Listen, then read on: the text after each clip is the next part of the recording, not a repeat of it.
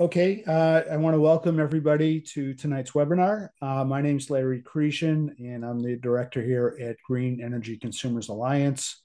Uh, I am joined by Anna Vanderspek and Loie Hayes uh, for presentations tonight. Uh, the topic is uh, the Inflation Reduction Act, which is a federal law, and how it affects energy and climate. Next slide, please. So, Green Energy Consumers Alliance, I is a nonprofit organization. I hope you've uh, you're familiar with us. Uh, if not, we're a nonprofit organization that empowers consumers and communities to speed a just transition to a zero carbon world. Uh, our viewpoint is that uh, we are making a shift from fossil fuels to clean energy, but not fast enough. Uh, so we emphasize uh, the word speed. We also emphasize the word just. We want a just transition that um, means that when we get to, as we make the transition to uh, clean energy, we make sure no one's left behind, that everyone benefits. Uh, we were founded in 1982, um, 41 years ago. Um, we serve Massachusetts and Rhode Island. We have offices in Boston and Providence, and we have a robust mix of programs that consumers can tap into. You can look at them at our website, greenenergyconsumers.org and we advocate for better public policy at the state level uh, at the state houses in both Massachusetts uh, and Rhode Island. Next slide. Um, so here are the takeaways I'd like you to uh, think about. The first is what we're going to talk about. The Federal Inflation Reduction Act is a game changer. It sounds like a cliche. Um, it might be an overused term, but it applies in this case. Uh, it's the largest investment in uh, the clean energy transition that the world has ever seen. Um, it's not enough, but it's going to help move us uh, much faster towards decarbonization. Um, we'll explain how you can combine the incentives that are in the Inflation Reduction Act with state incentives to bring down the cost of clean energy. The incentives, what's really great about them is they're available for at least 10 years, which means you can plan out how to get to zero carbon uh, for your home. Um, it's not something you have to do overnight. Uh, and so you can phase uh, in uh, some of the projects you might want to do. And there are great opportunities uh, in your community where you live, uh, the cities and towns. Um, and so we recommend that if you have any influence on city and town hall, try to get them to do some planning, identify sites where they can put clean energy projects into the in, into place, find partners, find contractors. And uh, what's really uh, exciting for us is that there are tax credits in the Inflation Reduction Act, and then there's a provision that says that ta- tax exempt organizations, nonprofits like ours, or uh, a, uh, a, community or um, religious affiliations can receive direct payment uh, equivalent to the tax credit. So it opens up uh, new opportunities for, for us. Next slide.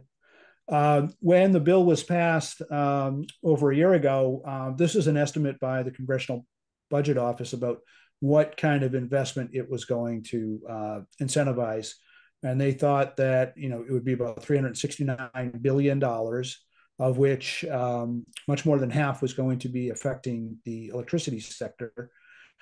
Um, but as it turns out, um, that's just an estimate because a lot of it's about tax credits and they were sort of guessing how much uh, corporations and uh, and residents were going to take advantage of the tax credits. Now, a lot of experts are saying that the investment could be uh, double or triple that num- number, and that's why we're here tonight. We want to encourage people to take advantage of what's ahead. Next slide.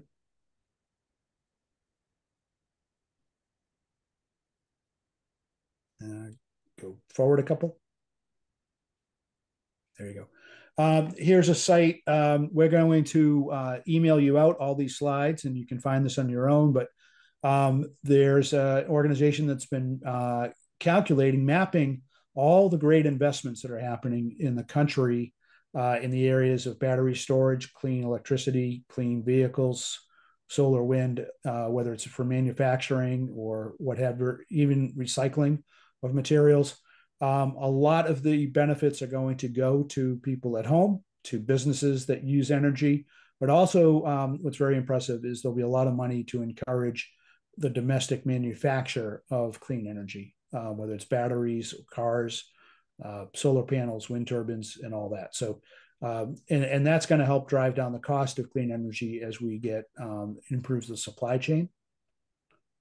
Next slide.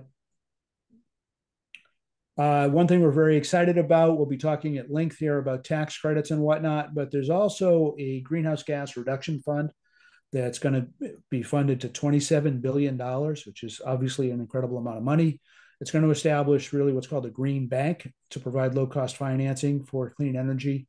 Governor Healey did a good thing. Uh, she established a Massachusetts Community Climate Bank for affordable housing that will be a repository of uh, funds. The state put in $50 million, but that's going to help create a place where the federal government can pour some money in.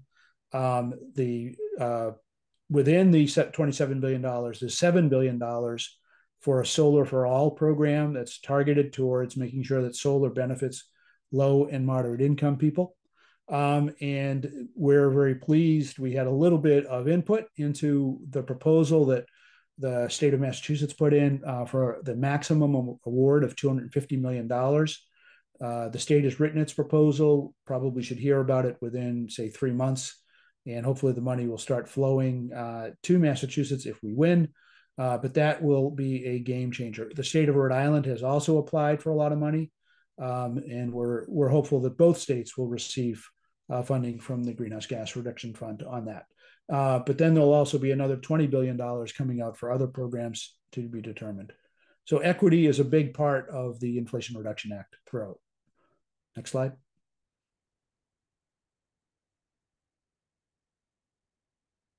So I'm going to give you uh, some rundown of the federal residential clean energy credits. Um, again, they will be uh, going for 10 years, um, which is a lot better uh, the ta- solar tax credit, for example, was set to expire, but now it's going on for 10 or more years. It applies to several technologies solar PV, water heating, home battery storage with or without solar. For the first time, you can now get a 30% tax credit with home battery storage. Um, and geothermal ground source heat pumps um, are, are eligible.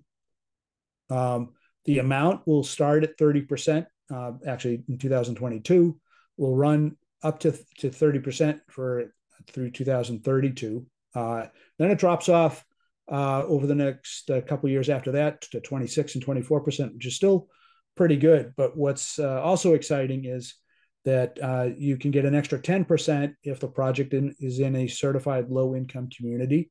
That's a census tract where it's 80% of the uh, area median income. Um, and uh, you can get a tax credit of 20% uh, more uh, for a total of 50% if the economic benefits from the project flow to low income households. Um, so we're actually, uh, we'll talk more, but we think that this will mean a lot of solar for um, benefiting uh, low income communities and low income households. And that's in addition to that um, Solar for All uh, program I mentioned. For more information, you can go to the IRS website uh, for that. Uh, we strongly recommend if you're interested in the clean energy incentives, uh, go to rewiringamerica.org and look for their IRA calculator. You type in your zip code, your home, whether you own or rent, what your household income is, whether you're filing single or jointly, and how many people are in your house. Um, it's a great uh, source of information. It's it's they won't have your name. Uh, it's it's uh, it's anonymous, but uh, that'll help. They will use that to determine um, whether or not you're in a house, uh, an area that is uh, eligible for some of the enhanced um, uh, rebates and tax credits. Next slide. and so, what, again, what I'm excited to report is that a lot of nonprofit organizations that have tried to install solar uh, they've had to uh, sometimes partner with a uh, a for-profit company because previously the tax credits were only available to um, uh, companies that had a tax liability.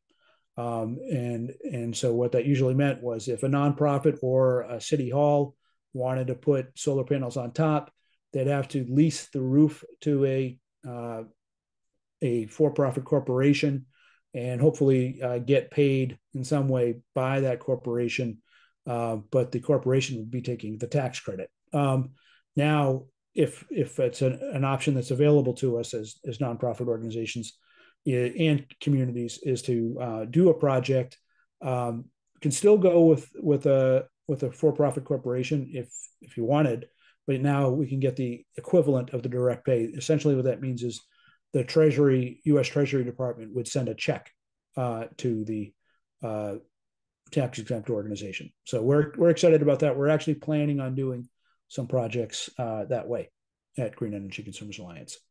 Now the states also have great solar incentives, both of them, Massachusetts and Rhode Island.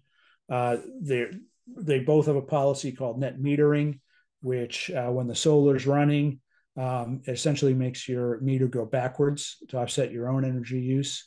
Uh, that's called behind the meter.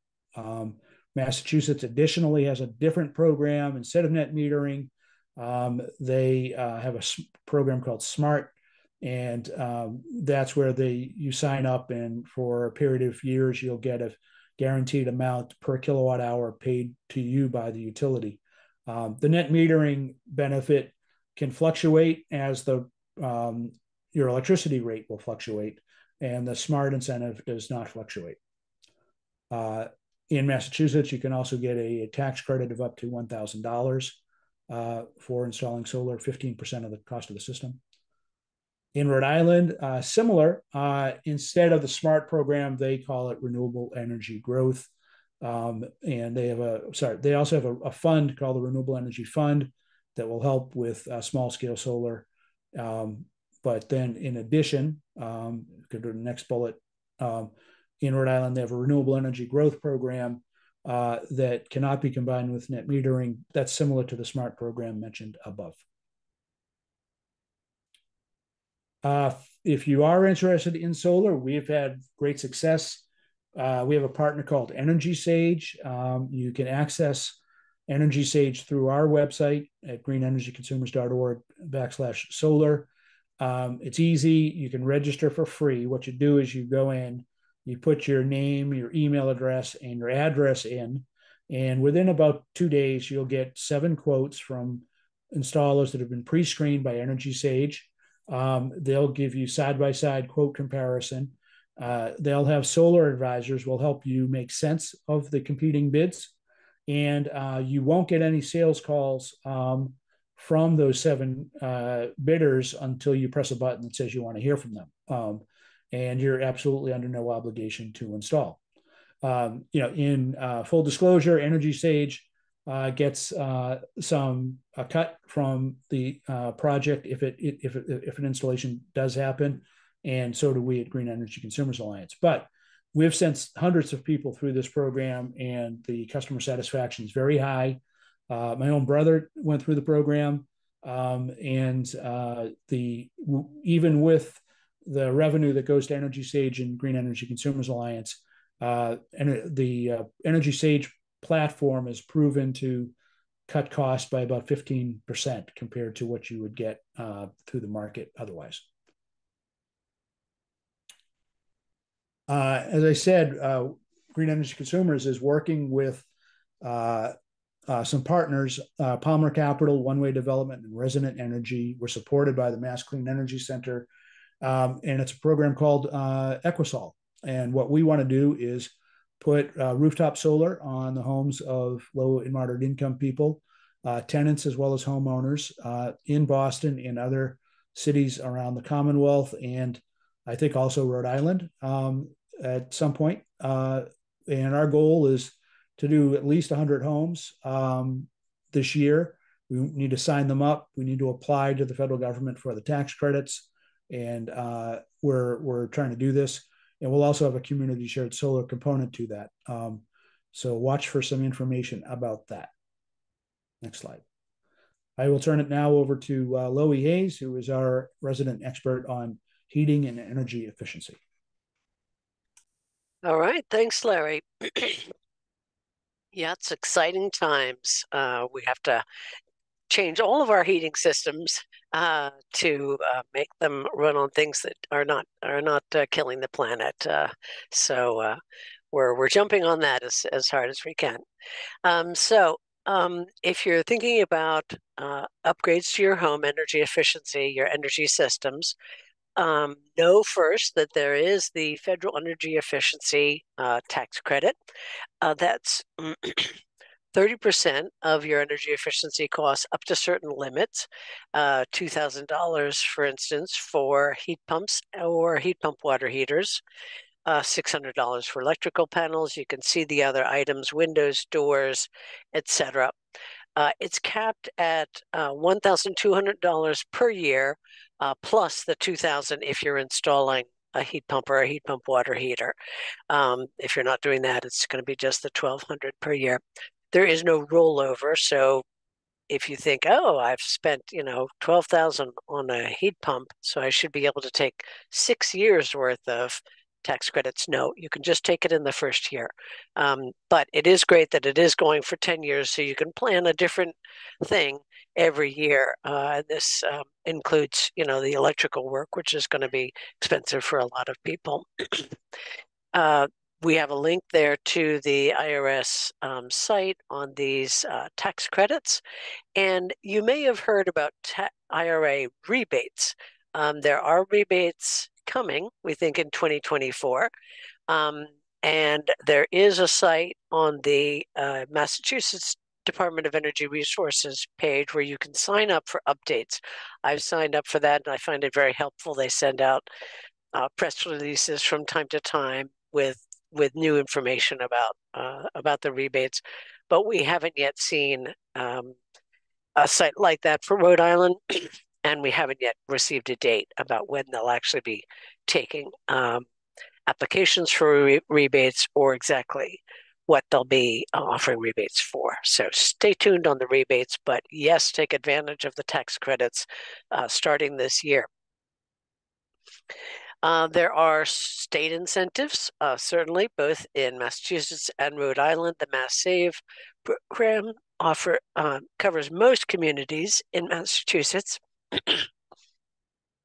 If you live in a town with a municipal light plant, you should check their website instead. And of course, in Rhode Island, there's Rhode Island Energy and Energy Wise Rhode Island. Um, and now the Rhode Island Office of Energy Resources is offering additional funding for heat pumps. I'll go into that in just a minute. Um, in Massachusetts, there's the whole home heat pump rebate. So this is if you're converting 100% of your heating needs to heat pumps, that rebate is $10,000. If you uh, have a moderate income household, uh, that in, that rebate is increased to 16,000.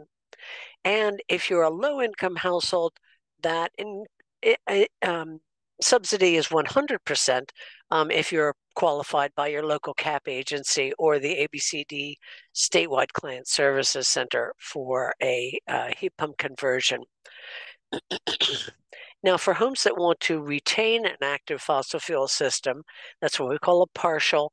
Um, it could be for a part of your house or it could be for the coldest weather that you would keep the fossil fuel backup uh, to turn on at that time. Um, there is an incentive for that, but it's measured by ton of heating capacity. Uh, it's $1,250 uh, per ton. Um, the average house might use anywhere from, say, uh, two tons to five tons, six tons, depending on how big the house is, whether you have cathedral ceilings, etc. Um, but um, for every ton of capacity that you provide by heat pump, you can get this uh, partial home incentive. There are also incentives for geothermal uh, heat pumps. Uh, these take the heat out of the ground and take the cooling out of the ground as opposed to out of the air. They're very efficient because the temperature under the ground stays um, around 50 degrees all year long. Uh, and it's much easier to get heat out of 50 degrees than it is to get out of uh, out of the zero temperature air. Uh, the incentive is higher for geothermal heat pumps. It's uh, fifteen thousand uh, dollars plus, of course, that 30% federal tax credit, which is um, uh, different from the the 2,000 uh, for for heat pumps, um, and that's increased to 30,000 for income eligible households. Uh, the, the incentive is greater because the cost of installation is greater. Um, in Rhode Island, the geothermal uh, incentive is just $1,250 per ton. And of course, that's in addition to the federal tax credit. And there are additional incentives for heat pump water heaters and, and just about every other energy efficient uh, appliance that you can imagine. There are, there are incentives if you choose the most efficient options. Now, about the Rhode Island heat pump in incentive, um, Clean Heat Rhode Island is the campaign that was uh, launched on September 1st. And one of the really great uh, consumer services that it offers is this free consultation with heat pump experts who are not trying to sell you any equipment, but in fact are trying to educate you about your home, about the potential technologies, and potentially reviewing, uh, most likely reviewing quotes that you've received and giving you feedback on those different quotes so that you can make a really informed um, choice. Uh, this is uh, Rhode Island chose to allocate $25 million in federal funding for this program.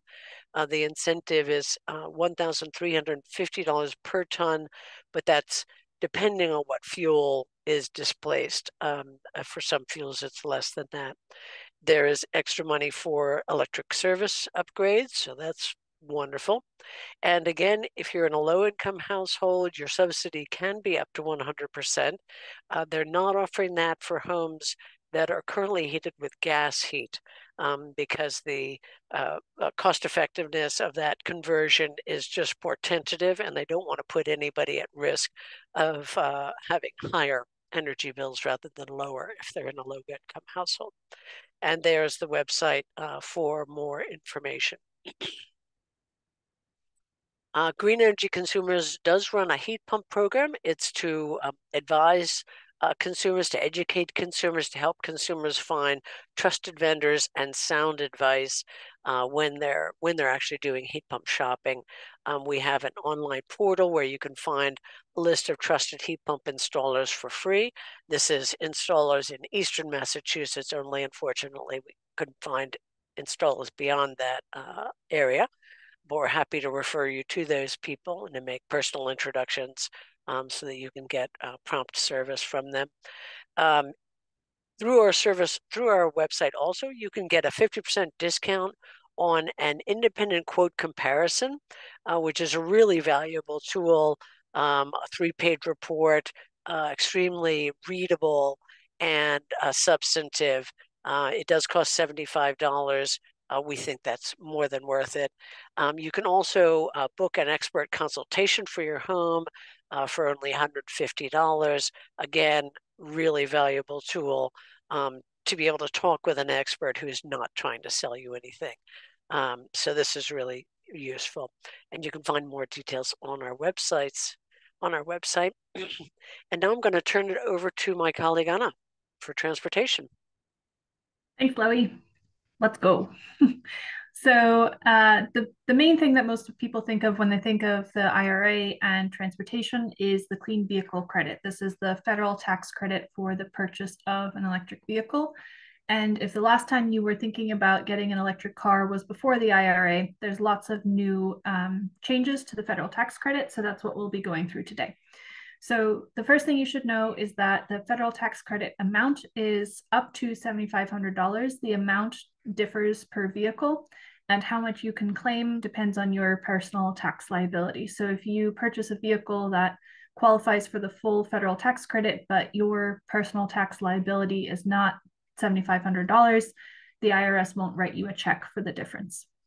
But we'll get into that in a little bit more detail in a couple of slides. Like the other tax credits we've talked about, this one is valid through 2032, which means you can plan out your purchase.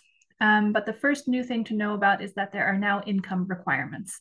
In order to qualify for the federal tax credit, your income needs to be under these limits. So if you file jointly, that's $300,000. If you're the head of household, it's $225,000. And if you're an individual filer, that's $150,000.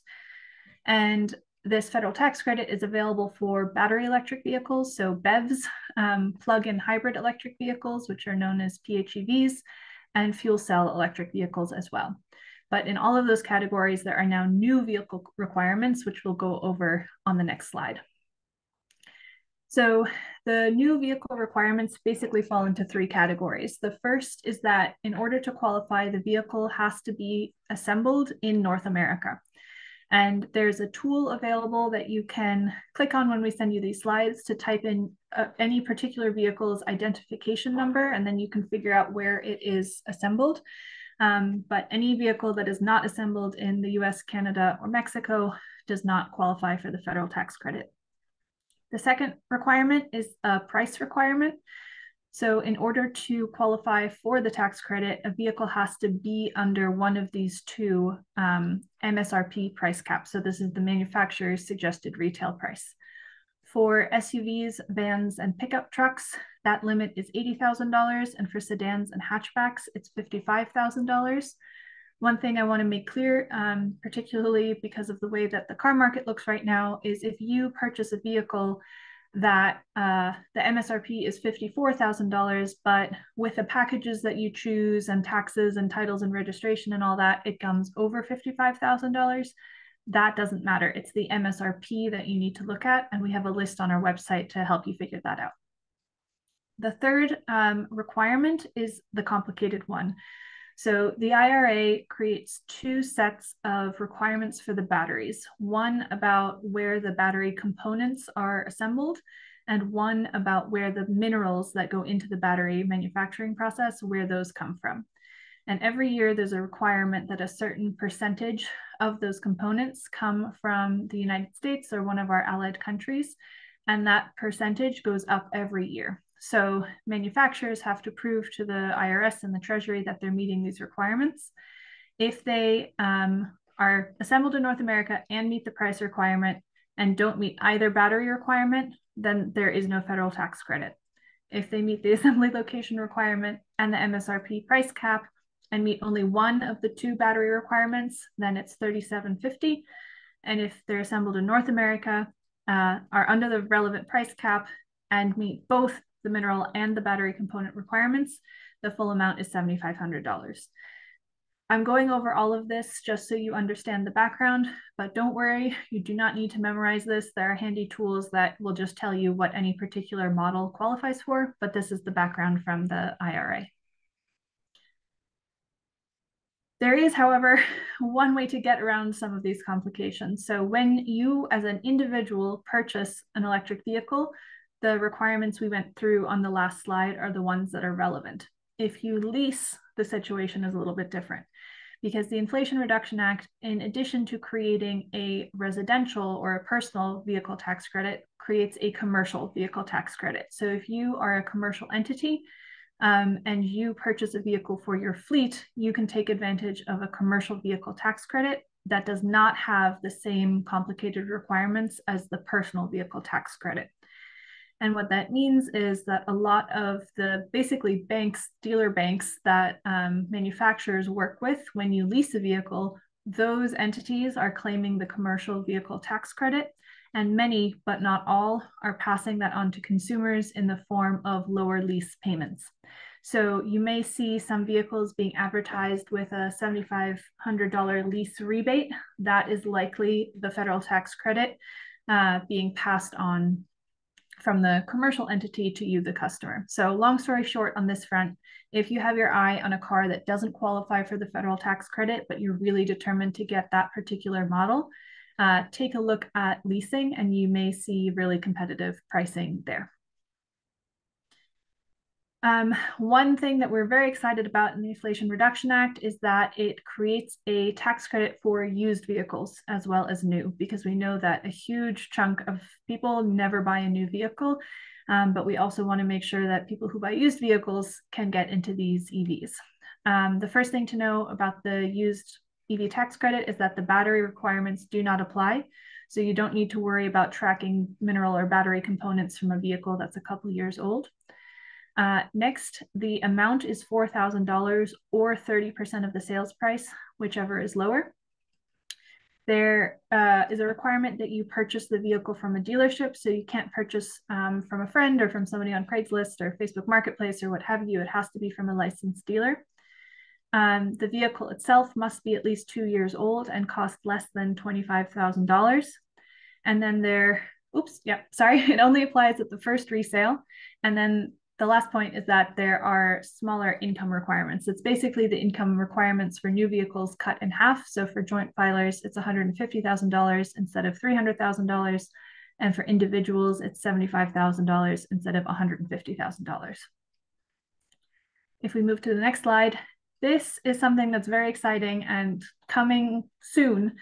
The IRA said that in 2024, the federal tax credit should be available at the point of sale, meaning that a consumer, when you walk into a dealership, can choose to transfer the tax credit to the dealership so that you get that cost reduction right off the bat.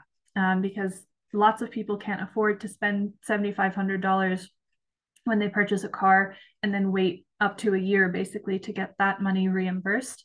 We're really excited to see this provision it's going to kick in at some point in 2024. There is a, an application portal open for car dealerships to sign up to make this um, available at their dealers. So the details on all of this in terms of what dealers you'll be able to do this at in Massachusetts and Rhode Island, that's all still TBD. But the key point of this, besides the fact that you'll be able to capture the value of this tax credit faster, is that it reduces or it, eliminates that issue of if your personal tax liability isn't high enough of you not being able to get the federal tax credit. Because if you transfer the tax credit to the dealership your tax liability is basically irrelevant. As long as your income is still under the limits and the vehicle otherwise qualifies you can get the federal tax credit so this is really exciting we're definitely going to keep our eyes on this next year and we will have a webinar once we know how that's going to actually roll out. But that's very exciting part of the IRA. Um, we have a whole webinar about incentives for electric vehicles, both for individuals and for commercial entities. So we're not going to cover all of that here, but I just wanted to make a quick reminder that if you are in Massachusetts or Rhode Island, there are incentives that you can stack on top of that federal tax credit. So in Massachusetts, we've got the More EV rebate, which is $3,500 for eligible vehicles. More EV truck, which offers a higher amount for um, basically electric pickup trucks, and then more EV used for used vehicles, and more EV plus, which is a higher rebate amount for low income drivers. Rhode Island's got a very similar program with slightly different amounts. Um, Drive EV is sort of the standard version, and it's available for new and used electric vehicles. And then Drive EV Plus is this higher rebate amount for uh, low income drivers. So in both of those cases, you can stack those incentives on top of each other to really bring down the price um, of an electric vehicle. We'll send out these slides. We've got a link to our incentives page where you can learn all about that. Um, and I think I'm ready for the next slide. So we have a tool on our website that you can visit if you go to greenenergyconsumers.org slash drivegreen. There's a big friendly button that says find cars. And when you click on that, you'll come to this tool where we have all the latest information and the key information about the different vehicles that are actually available on the market. So for each one, we'll list some of the fast facts. So we'll tell you what the range is, how many seats there are, um, what kind of charging capabilities the vehicle has. And then on the right, we'll show you what is the base MSRP, what is the federal tax credit, and what is the state rebate. And then we'll do the math for you and show you, okay, if you start with the base MSRP and subtract those two incentives, you can uh, expect to pay about this much. So you can use this tool to sort and filter by different characteristics. Um, so if you're looking for a vehicle that has at least 200 miles of range and is all electric and has seven seats, we'll show you what the options are. And this means you've really got a one-stop shopping kind of place to figure out what vehicles you might be in the market for. So you don't have to go out and figure out what, what percentage of the minerals in the battery come from uh, countries where the US has a free trade agreement. So this link is on our website. We'll share it in the slides as well, but our hope is that uh, it'll make the car shopping process a lot easier by just showing you everything in one place. Um, we've talked mostly about electric vehicles, but of course you need to charge those vehicles somewhere. Um, and the IRA, in addition to the tax credit for vehicles, institutes a tax credit for installing charging stations. This is both for commercial and residential, Today we're talking about residential. Uh, the amount is 30% of the cost of installing a charging station at home, not to exceed $1,000. but it's only available in certain census tracts. So in order to qualify, the property has to be in a census tract that is either qualified as low income or non-urban, aka rural. Um, we've made a little how-to guide of how to figure out if uh, your property is in one of those two categories. We're link linking to it here, but it's also on our website. But you can use that to figure out um, if this is an incentive that you can take advantage of. If you live in Massachusetts, there are lots of other incentives from mostly the electric utilities, National Grid, Eversource, and Unitil. Um, and we've got all of that information on our website, but there's pretty uh, significant incentives there depending on what kind of building you live in and where it is for both the infrastructure upgrades and the actual hardware of the charging station. So um, definitely check that out on our website. And if you live in a multi-unit dwelling that has five or more units, uh, in Massachusetts, there's a special rebate program from the state called Mass EVIP that can help cover the costs of installing charging there as well. Um, for any Rhode Islanders on the call right now, there aren't any incentives uh, to install charging, but we're hoping that Rhode Island Energy will propose uh, some soon. Uh, moving right along, I just want to highlight that there's so much more to the IRA than just the tax credit on the transportation front. Um, the production tax credit, which for a long time has helped spur the growth of the wind industry in the US, is now extended to battery manufacturing and we've already seen a bunch of manufacturers uh, uh, declare that they're going to build new plants in, in the battery belt and other places in the country. The EV tax credit itself is structured in a way to incentivize manufacturers to build batteries that use um, components or, or, minerals that were recycled from previous batteries. Um, so you're seeing a lot of news about um, different companies working to make a closed loop cycle of making sure old EV batteries get reused into new EV batteries or uh, recycled into new EV batteries. Um, if we go to the next couple of bullets, Loie, there's also a lot of direct funding. So there's billions of dollars in terms of loans to new clean vehicle manufacturing plants or just straight out grants to revamp existing auto plants into ones that produce electric vehicles. And if you go back to the tool that Larry showed at the very beginning, you can filter by clean vehicle and you can see some of those projects. There's news about this all the time of new um, plants being announced across the country. And then uh, there's also money for zero emissions equipment at ports because it's not just uh, vehicles and trucks, but also forklifts and all sorts of things that pollute uh, pollute the air, not just in terms of greenhouse gas emissions, but also in terms of the type of pollution that harms human health. So there's a ton in the IRA, all of which is, is working and, changing the market right now. Um, so one thing that I know people are particularly interested in with electric vehicles is this issue of the batteries and manufacturing. Um, and this is a map from the International Council on Clean Transportation that shows within the US um, different types of battery plants, either ones that um, recycle lithium ion batteries um, or ones that build lithium ion batteries. And this is a great um, resource. You can click on the link when we send it, but you can see that there's a lot of growth happening in this space. And when we go to the next slide, um, I'll talk a little bit about how what this looks like in the big picture. So um, this is a graph that shows you the amount of investment in electric vehicles um, since 2015. And you can see that we took a big jump with the bipartisan infrastructure law, which we're not even talking about today, and then an even bigger jump with the Inflation Reduction Act. Um, all of this means there's new models coming, there's new models coming that are going to be manufactured in the United States. And this is the kind of sort of uh, investment where we might not see it right now, but in a year or two, it'll be really clear. And then I think I only have one more slide, and then we can turn to some questions. Um, coming back to that question of recycling, um, two slides ago, we had a, a, map of all the different recycling plants in the US, and it, it it's a lot and it's more coming, but it might not look like enough. But the International Council on Clean Transportation did a really thorough analysis of this and found okay, based on how many electric vehicle batteries are actually being retired right now, do we have the capacity to actually recycle those batteries? And what they found is that the installed and announced uh, recycling capacity that we have um, as of September when they did this analysis will carry us through the next couple of years for sure. Because a lot of the electric vehicles that are on the market are new enough that their batteries are nowhere near being ready to retire, which means we have some time to build up that market uh, to really make sure that once we start retiring vehicles en masse, um, that the capacity is there. So definitely doesn't mean we shouldn't keep pushing on this um, piece, but it does mean some good stuff is is happening so we can get prepared for this transition. And I think that's my last slide, unless I've forgotten one. Larry, back to you.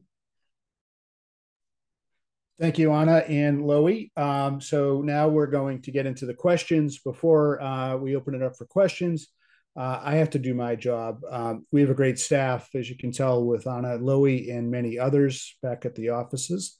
Uh, and so we, uh, as a nonprofit, are dependent upon contributions from foundations, government grants, and individuals.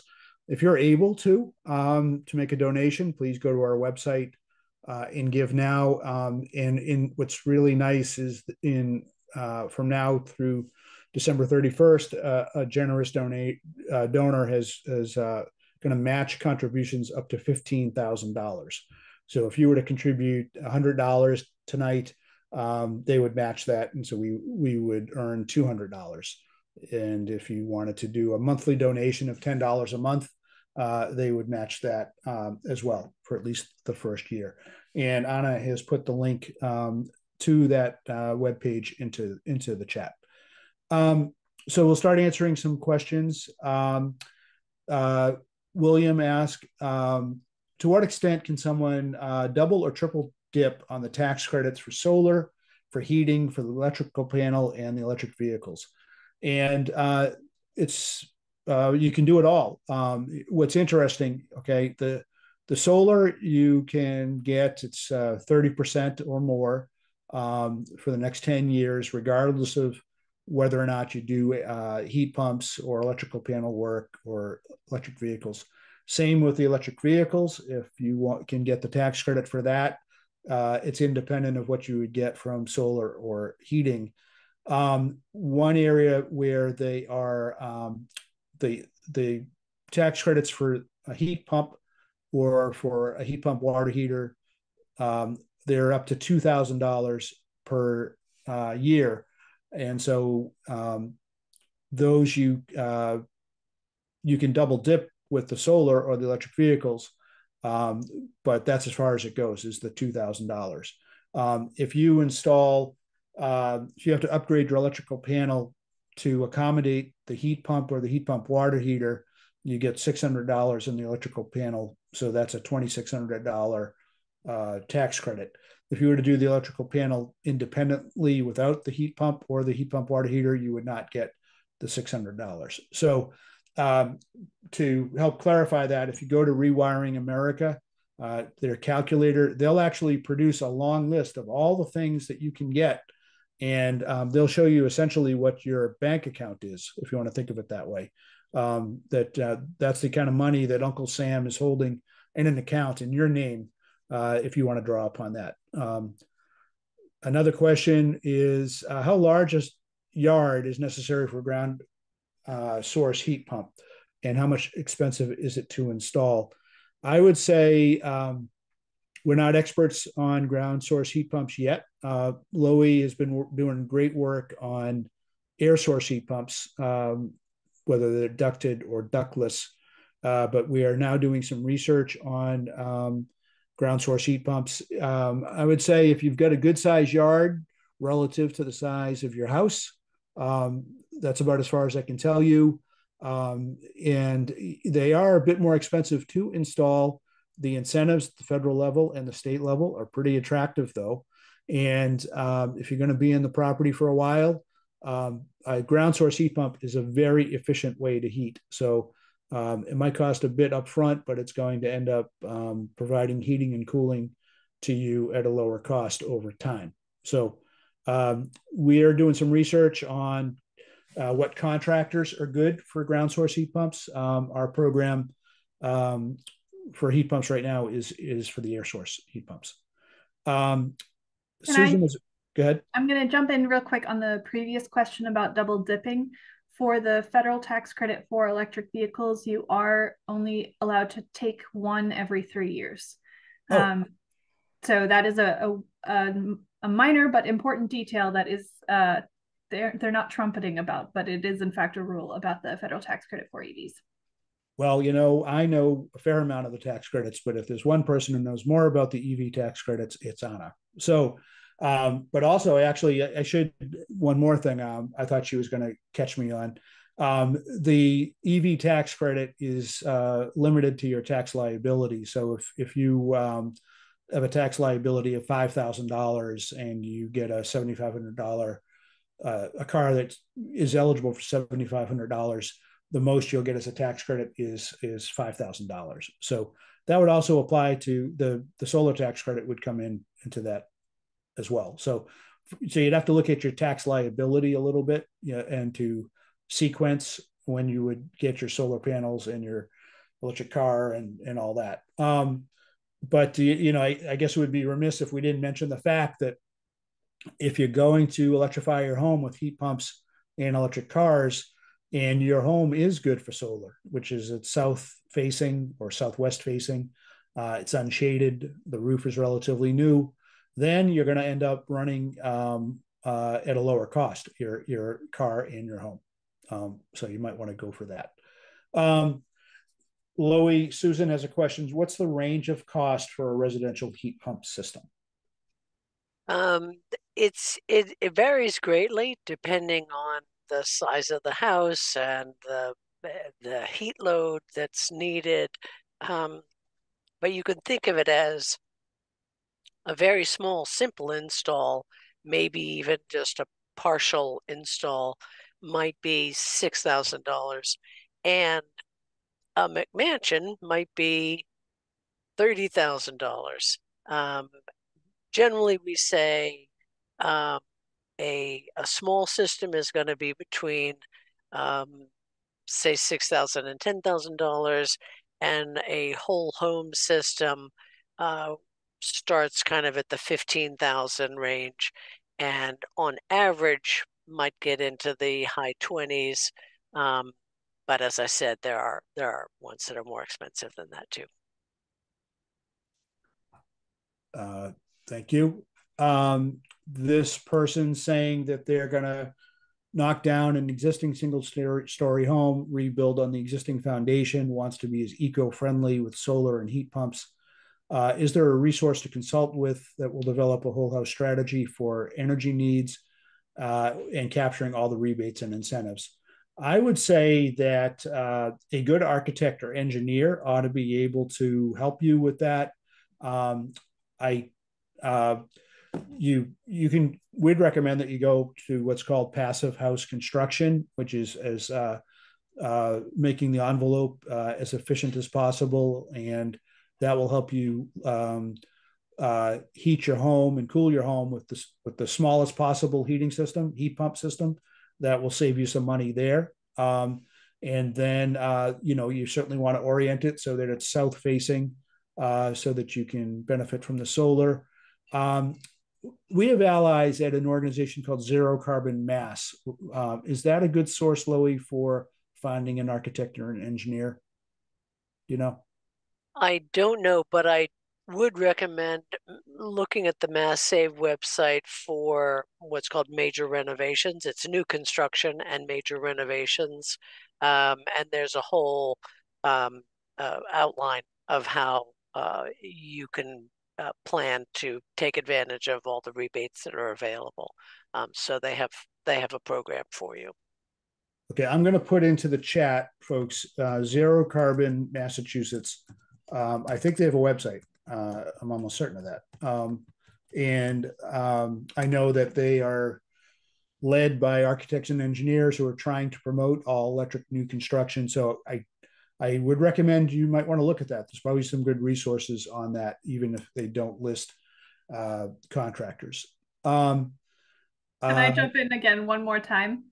No. You made me nervous about the three-year um, requirement, and I just went and double checked the the you can only apply every three years is a requirement for the used vehicle federal tax credit, but not the new used new vehicle tax credit. It's very confusing. I'll clarify it in the follow up email.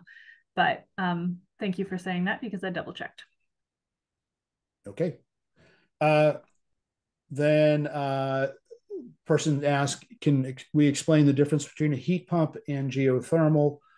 And uh, so heat pumps are uh, come in two flavors: air source heat pumps and ground source heat pumps. The ground source heat pump and the term geothermal is uh, pretty much synonymous. Um, and it, with a ground source heat pump or geothermal, um, they're taking the uh, the heat that's in the ground that's uh, warmer in the winter than the air that we have, and so you're bringing it up. And in the summer, it's uh, the the uh, the the ground is cooler than the ambient air, so there's benefits from pulling the um, the the temperature uh, up from the ground that way. The heat pump, um, uh, air source heat pumps run like a reverse air conditioner, um, and uh, um, in the winter, and then they then they they can also cool in the summer. Um, and so again, uh, just real quickly, Loie, can you can you briefly go over the cost of of the heat pump air source heat pumps. Sure. We don't really have good figures on the geothermal, to be honest with you. Yeah, I mean, a geothermal could be four times the cost of of a heat pump, uh, depending on you know what what kind of system it is. Um, the the incentive is greater for the geothermal, ten thousand for the heat. For an air source heat pump, fifteen thousand for a ground source or or geothermal system. They're both heat pumps. It's just a question of where you're where you're drawing the uh, the cost from. I mean the the energy from. Yeah, and in terms of cost, yeah, we're we're looking at, you know, you could think of a an air source heat pump whole home system being say in the 20s and a geothermal being in the 40s, but it really depends on um, what your situation is, what the soil is like, what your property is like, what your house needs are. Um, so that could be a very fungible number. Yeah. Uh, Kenneth asked, are there plans for us to vet, uh, meaning scrutinize and approve uh, battery installers?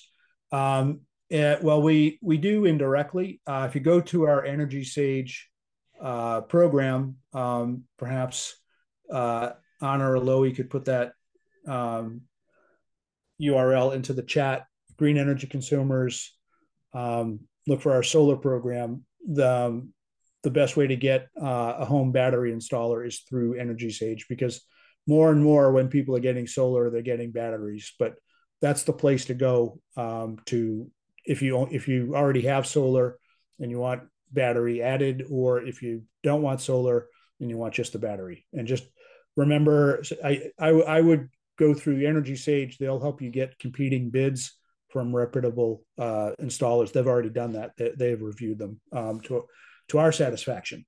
Uh, that's why we partner with them. Um, and then um, the uh, Susan says uh, signed up for solar, uh, asked to pay despite the tax credit. I appreciate the tax credit very much, but paying for solar means I can't do heat pumps or electric vehicles. Any hope for those of us who don't have a lot of money? Um, well, I I'll turn it over to both Loie and to um, uh, Anna. Uh, I would say with electric vehicles, we're expecting the price to come down over the next few years quite a bit the technology is improving. Battery costs are coming down uh, very rapidly. The last several months have been good in that respect.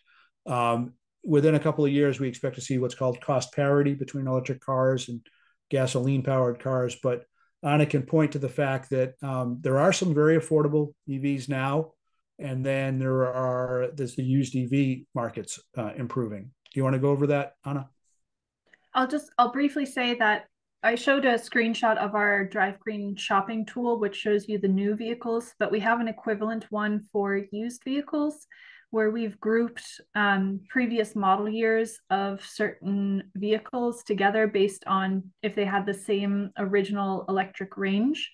So you can uh, go there and sort and filter and say, I want a vehicle that had at least 100 miles of range originally, and then we'll show you what sort of low and high price estimates are based on uh, the website Edmunds. Um, but sort of larger picture, looking at your question, I think one of the the key messages of the Inflation Reduction Act is that all of these tax credits are in place until 2032, which means you can pace out investments regardless of what your situation is you can you can kind of look at okay if i want to get off fossil fuels these are the things i need to do. And you can say okay for me the the most the next immediate step is this i'll do this and then a couple years later i can do that. And you can kind of plan it out. Um, doing it all at once is definitely challenging. I i think for the best of us. And and uh, i would say specifically um, heat pumps, and I think Loie will agree with me on this, are uh, more challenging than EVs. Um, pretty much in every situation, I'd say. So I think depending on how recently your home's been insulated and things like that, I would look at an EV maybe as the next option, particularly because, uh, as Larry said, the prices are coming down, and then sort of maybe lay the groundwork for for heat pumps. But I'll let Loie speak to that too. Yeah, by getting solar, you certainly have taken the first step toward economizing on your uh, eventual conversion to um, heat pumps because solar will uh, having your own solar will will lower the cost of your electricity, uh, which of course is you know what you're going to be powering. It's going to determine your operating cost.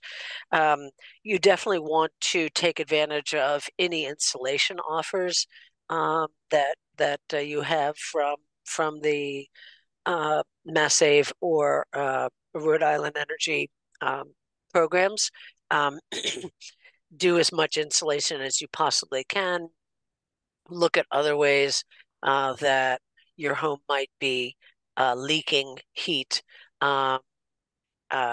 And that will make it more affordable to go to heat pumps eventually too. And and as Anna said, the credits are there for many years and heat pump technology will continue to improve. So you may be able to um, convert for less uh, in three years than you can for now. Um, so uh, definitely uh, uh plan ahead and uh, think about when are what's the natural life cycle of the various things that I have to maintain your your water heater, your your car, uh, etc. And and try to think about planning for replacement when those things are naturally going to need replacement. Yeah, to to use my own home as an example, we have uh, we went with an electric uh, clothes dryer, um, and so uh, that's an advantage. You know, we've removed the gas appliance uh, for that um, and right now we're planning to have uh, a heat pump water heater. Um, uh, so we've uh, we've upgraded the panel, so now we can have the heat pump water heater without a problem. Um, and so we'll try to take that tax credit um, and consider the whole the heat pump for space heating at uh, in another year. Um, another thing we're looking at maybe for 2024 or 25 is um, an electric stove, an induction stove. So that gets to what Loie's talking about. There are different ways you can um, convert your gas appliances or, or fossil fuel appliances to electricity over time. Um, next question um, for Anna. Uh, Peter's been driving a 2018 Nissan Leaf for five years uh, noticing issues with the uh, fast charger availability in Rhode Island. Um, and uh, he thinks that the problems are giving people pause about charging in Rhode Island. And what are your thoughts on that? Um, we have heard this in so many different variations in, in Rhode Island and in Massachusetts. There's not enough chargers, and too many of the chargers don't work when people pull up to charge. I will say that I am actually hopeful that we are reaching a turning point for a couple of reasons. Um, the biggest one being that the other major federal climate law that we didn't actually talk about today is the Bipartisan Infrastructure Law or the Infrastructure Investment and Jobs Act, the IIJA. And one of the many things that that law did was set up the uh, National Electric Vehicle Infrastructure Program, or NEVI program, which is allocating funding to all of the states to make sure that we have a DC fast charging network that is built out so that there's a charging station every 50 miles on major highways. And so Massachusetts and Rhode Island are both about to release a request for proposals to um, actually put those stations in the ground. And there are uh, several requirements associated with that federal funding that I think will result in a better experience for drivers. Um, so, one is that every site has to have at least four uh, stations that are capable of charging at 150 kilowatts simultaneously. Um, so sometimes now when you when you stop somewhere, there's only one or two stations. At these federally funded stations, there will always be four. Um, and there are uptime requirements associated with funding. So the stations have to be functional. I think it's 98% of the time um, under the rules of that funding. So hopefully in the next year or two, we'll see a lot more DC fast charging um, as a result of that federal funding. There's actually several phases of it, so we'll, we'll be seeing the impacts for a while. Um, and that coupled with the tax credit for installing charging and then utility programs in Massachusetts, they're in place now. In Rhode Island, they're hopefully coming soon. All of that should mean that there's a lot more charging and a lot better charging in the coming years. But if you've been driving a Leaf since 2018, I'm sure you've seen uh, some of the issues that will hopefully get turned around with this um, these developments? Uh, I think there's one last question. Somebody asked, um, uh, are heat pump um, washers and dryers included as incentives as well? Um, and as Loie answered in the uh, in writing, but I just thought others would make want to make sure people heard it. Um, we don't know yet what the uh, the federal government's going to have rebates for washers and dryers coming out. Um, it'll probably be uh, limited by mostly by people's income. Um, uh, those programs, as Loie said, we're waiting to hear more about the details of the federal and state programs. They're going to be administered by uh, the Massachusetts Office of Energy Resources and the Rhode Island Office of Energy Resources. So we just we just don't have that information yet, but already in existence in both states. Um, you can get rebates from Mass Save if you're in Massachusetts, or uh, from Rhode Island Energy if you live in Rhode Island, uh, for appliances that are rated Energy Star. Uh, so we'd recommend you go to those pages and look to see what you can get for incentives for those. And uh, Kenneth from Attleboro is asking, um, uh, what kind of resources are available uh, for uh, municipal related programs. Um, the uh, in I don't know if Attleboro is uh, has achieved what's called green community status, but Massachusetts has a strong program called Green Communities, which is if if the community meets a few criteria, um, it becomes designated a green community. Uh, most cities and towns are green communities and they are uh, annually will receive a check from the state uh, to support green energy work. I would start by looking to see if Attleboro is uh, is one of those communities. Um, and I should know, but I can't remember if uh, Attleboro has municipal aggregation. Um, I think it does, um, but that would that's what we have seen. We've we recently wrote a, a guidebook uh, on that, or a status report on municipal aggregation. So we would hope that um, uh, Attleboro it has municipal aggregation. Um, and then uh, what I would say is all these incentives that we've just talked about are uh, very ripe for planning at the municipal level to find the sites. Uh, there are incentives in the Inflation Reduction Act and also the, the bipartisan infrastructure law for things ranging from uh, solar farms, putting solar on rooftops, um, uh, geothermal, uh, battery storage, microgrids, um, electric buses, uh, all kinds of electric vehicles um, of all sizes. And Anna is uh, actually working on a, an electric school bus project.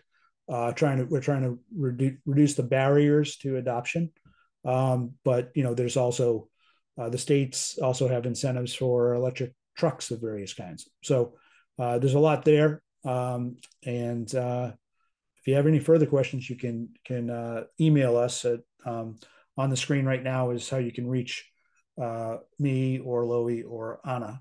Um, and I think uh, I think we're done with questions, and I hope everyone enjoyed this. Um, we will send you um, the slides and some links after this, um, probably in another day or two. Um, and uh, we'll see you at another time. We, we do have other events coming up. If you go to our Green Energy Consumers, look for our events page. Um, Anna and her team do a lot of webinars about electric vehicles. Uh, does a lot of uh, webinars about heat pumps, um, essentially EV 101 and heat pump 101, where we tell you all about those things. And we have uh, webinars about um, uh, solar with Energy Sage, and we um, have a lot of webinars about uh, public policy.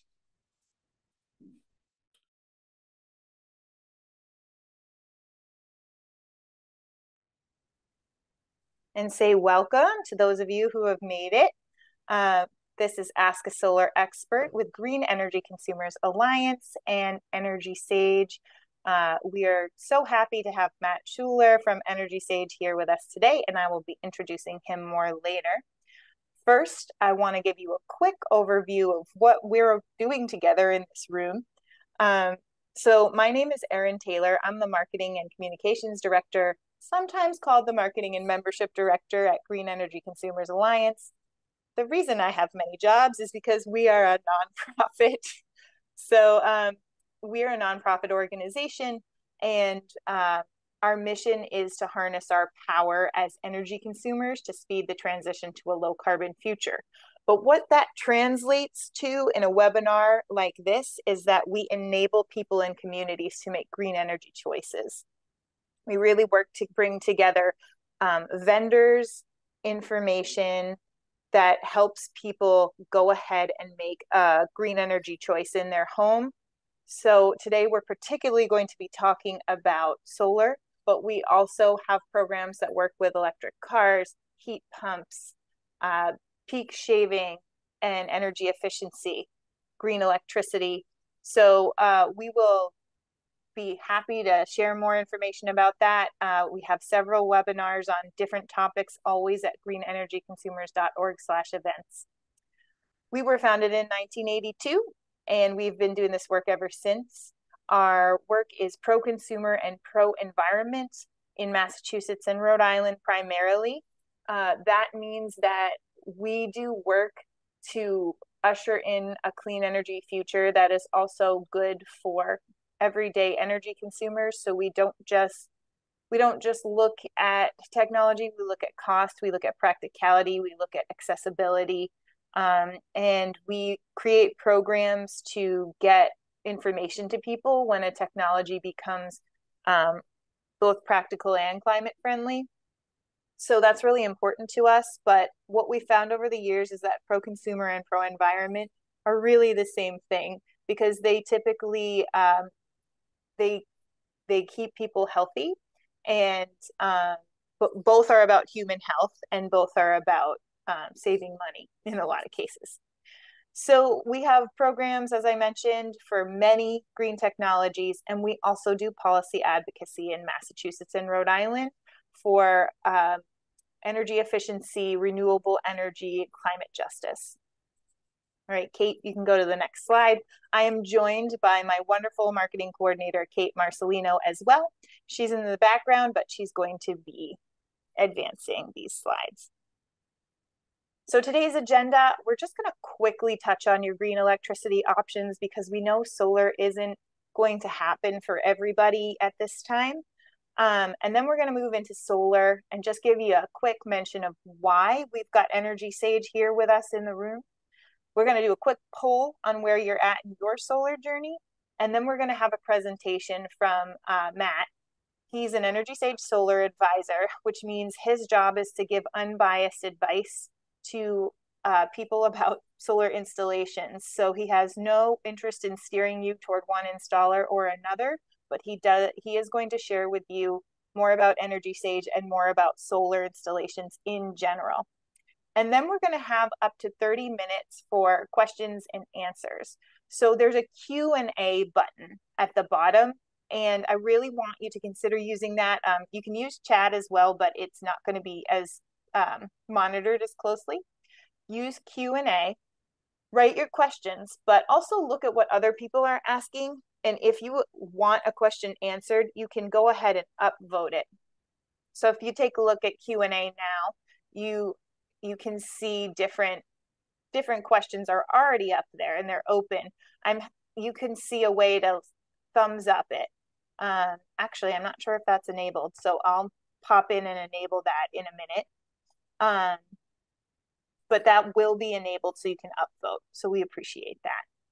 So I'll pop in and enable that in just a minute as soon as I hand it over to Matt. Uh, all right, so quickly, other green electricity options. If you want to support renewable energy coming onto our power grid, but you can't put solar on your roof, you can make the switch to green electricity through our green powered program.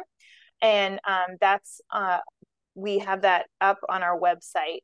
But at the same time, hundreds of communities in Massachusetts and seven in Rhode Island are offering green electricity options of their own through a community choice electricity program and yours might be one of those communities. So if you're interested in switching to greener electricity where all you do is sign up and nothing more, you can go to this website info.greenenergyconsumers.org slash clean electric.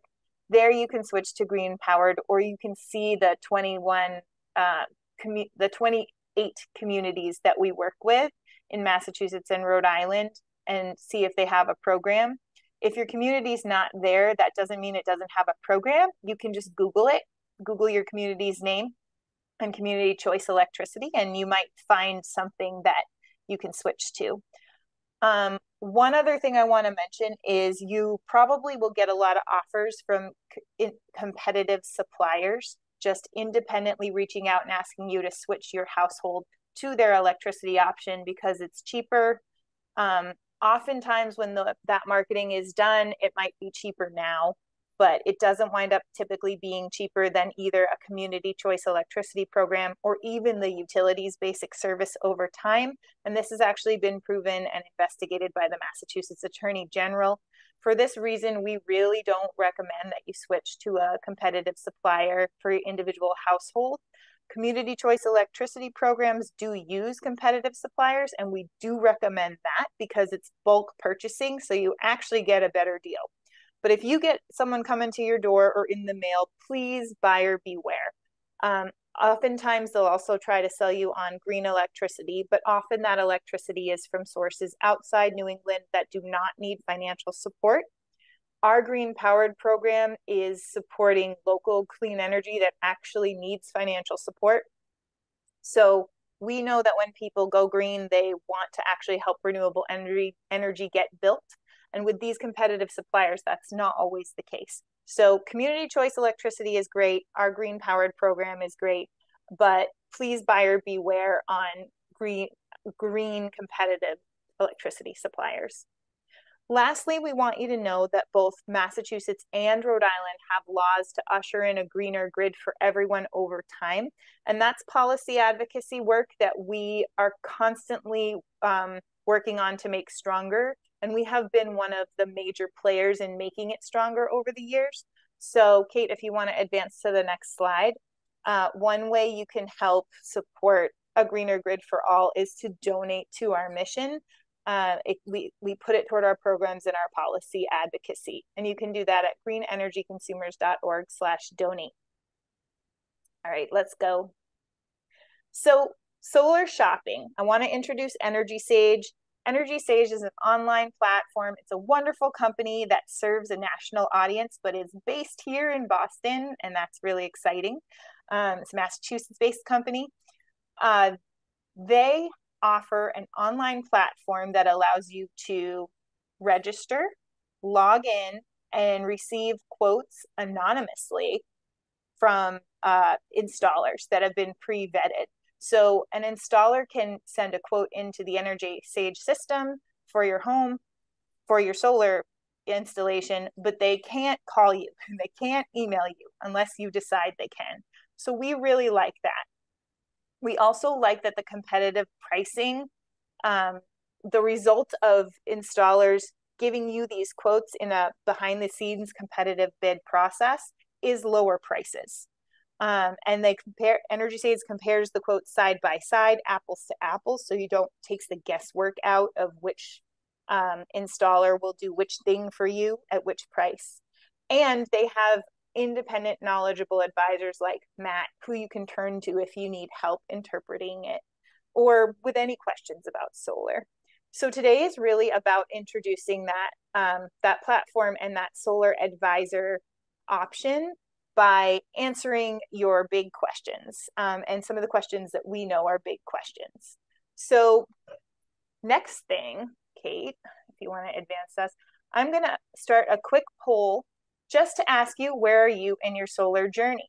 So it is an untitled poll. Sorry about that. But what we're asking is where are you in your solar journey? So we're going to ask you to respond to this in the next 30 seconds or so.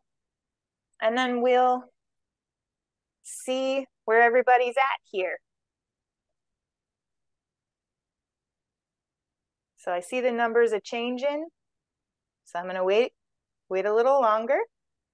Again, you should see a poll on your screen if you haven't taken it yet.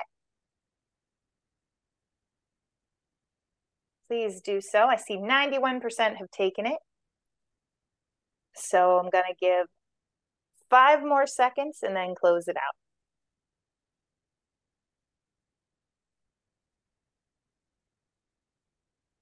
All right. So what I'm seeing is uh, a lot of you are in the research phase. Some of you are actually already registered for Energy Sage and um, might even be to the process of choosing an installer. And some of you already have solar. So um, maybe you're here because you're thinking about expanding your installation or doing another installation. Or maybe you just installed it and you're trying to figure out how to take advantage of the tax credits and things like that. So it's great to see you're here. Uh, I'm going to stop sharing this and move on to the next slide. So I just want to hit real quickly before we turn it over to Matt. I want to hit top questions from previous sessions. So in uh, we do we've done this a few times and what often comes up is the roof. So I want to assure you Matt is going to talk about your roof. Um, there are a few things to consider, and we'll go over that. If you have your own very specific question, you're welcome to put it in the chat. Uh, we'll try to get to it. But at the same time, your very specific questions about your specific home might also be suited to setting up a call with an, an Energy Sage solar advisor, which again, you just have to register and then it's totally free. So we'll give you all that information so you can register. Um, and we'll try to answer some of these questions, especially if they'll help others. State programs. So there are programs in both Massachusetts and Rhode Island. Other, other states have programs as well um, in New England and across the country. So we're not going to go in depth on them, but what we want to say here is we are going to talk about the Inflation Reduction Act today, which is federal and affects everybody in the United States. But on top of that, your state might have further uh, incentives. So that's always worth looking into. And a good solar installer, like the ones in the Energy Sage system, will walk you through everything you can get. So um, in Massachusetts, Massachusetts, for example, there's the SMART program, which uh, does two things for you. It buys uh, your net metering credits, which we will explain, and also buys your renewable energy certificates at the same time in one lump sum that comes to you as a credit on your electric bill. So that's really nice. And typically, what it does is takes away your electric bill for the most part. And so that can help make the investment in solar easier most states have a form of net metering some don't but a lot a lot do and massachusetts and rhode island both have that on top of that there are other no interest loans um, tax incentives in both Massachusetts and Rhode Island. So just encouraging you to keep that in mind. And then lastly, I'm going to turn this one over to Matt because we get this one every time. Um, this question is always if I live in a multifamily home and I I want to install solar, can I share it? Can I share it with my tenants or with my co-owners? Um, and the answer varies by state, but I'm going to have Matt answer that now, and then we'll jump right into his presentation. So thanks, fantastic. Matt. Thank, absolutely. Thanks, ET. And this is this is a great question. I, as a Massachusetts resident, and I'd say really a, a, lot of places in New England, we're all aware of the classic triple decker structure, a lot of multifamily homes, and more specifically multi multi meter homes where the energy is split across a number of different meters on the property. So the way solar works fundamentally is the system is always going to be tied to one distinct main meter that then redirects back into your electric grid. Meaning that if you have a property with multiple independent meters, let's say again a multi apartment structure, you cannot have one system that directly powers all three units within the home. Uh, you have to have a system design that is directed towards one meter. What you can do in a lot of places, and this is particularly common in Massachusetts, but I believe in Rhode Island as well, it is still supported, is through a process called virtual net metering. And, and net metering we'll go into a, a, bit further in the presentation, but it's essentially the program wherein your utility company buys your excess solar power. With virtual net metering, you can essentially accumulate a big chunk of net metering credits through one meter and disperse them across different meters that you own on the on the property, uh, allowing you to essentially, even though you're not going solar for each individual meter at the home, share the financial benefits of solar among those independent meters, and then share the energy generated by your system with the rest of your community. So it's not going to be available in every circumstance, but if you have one, and again, the New England specifically, it's more common than most areas of the country, you're likely going to be eligible for for a virtual net metering program through one of your your major utilities if you have enough space to put in a system big enough to cover multiple units.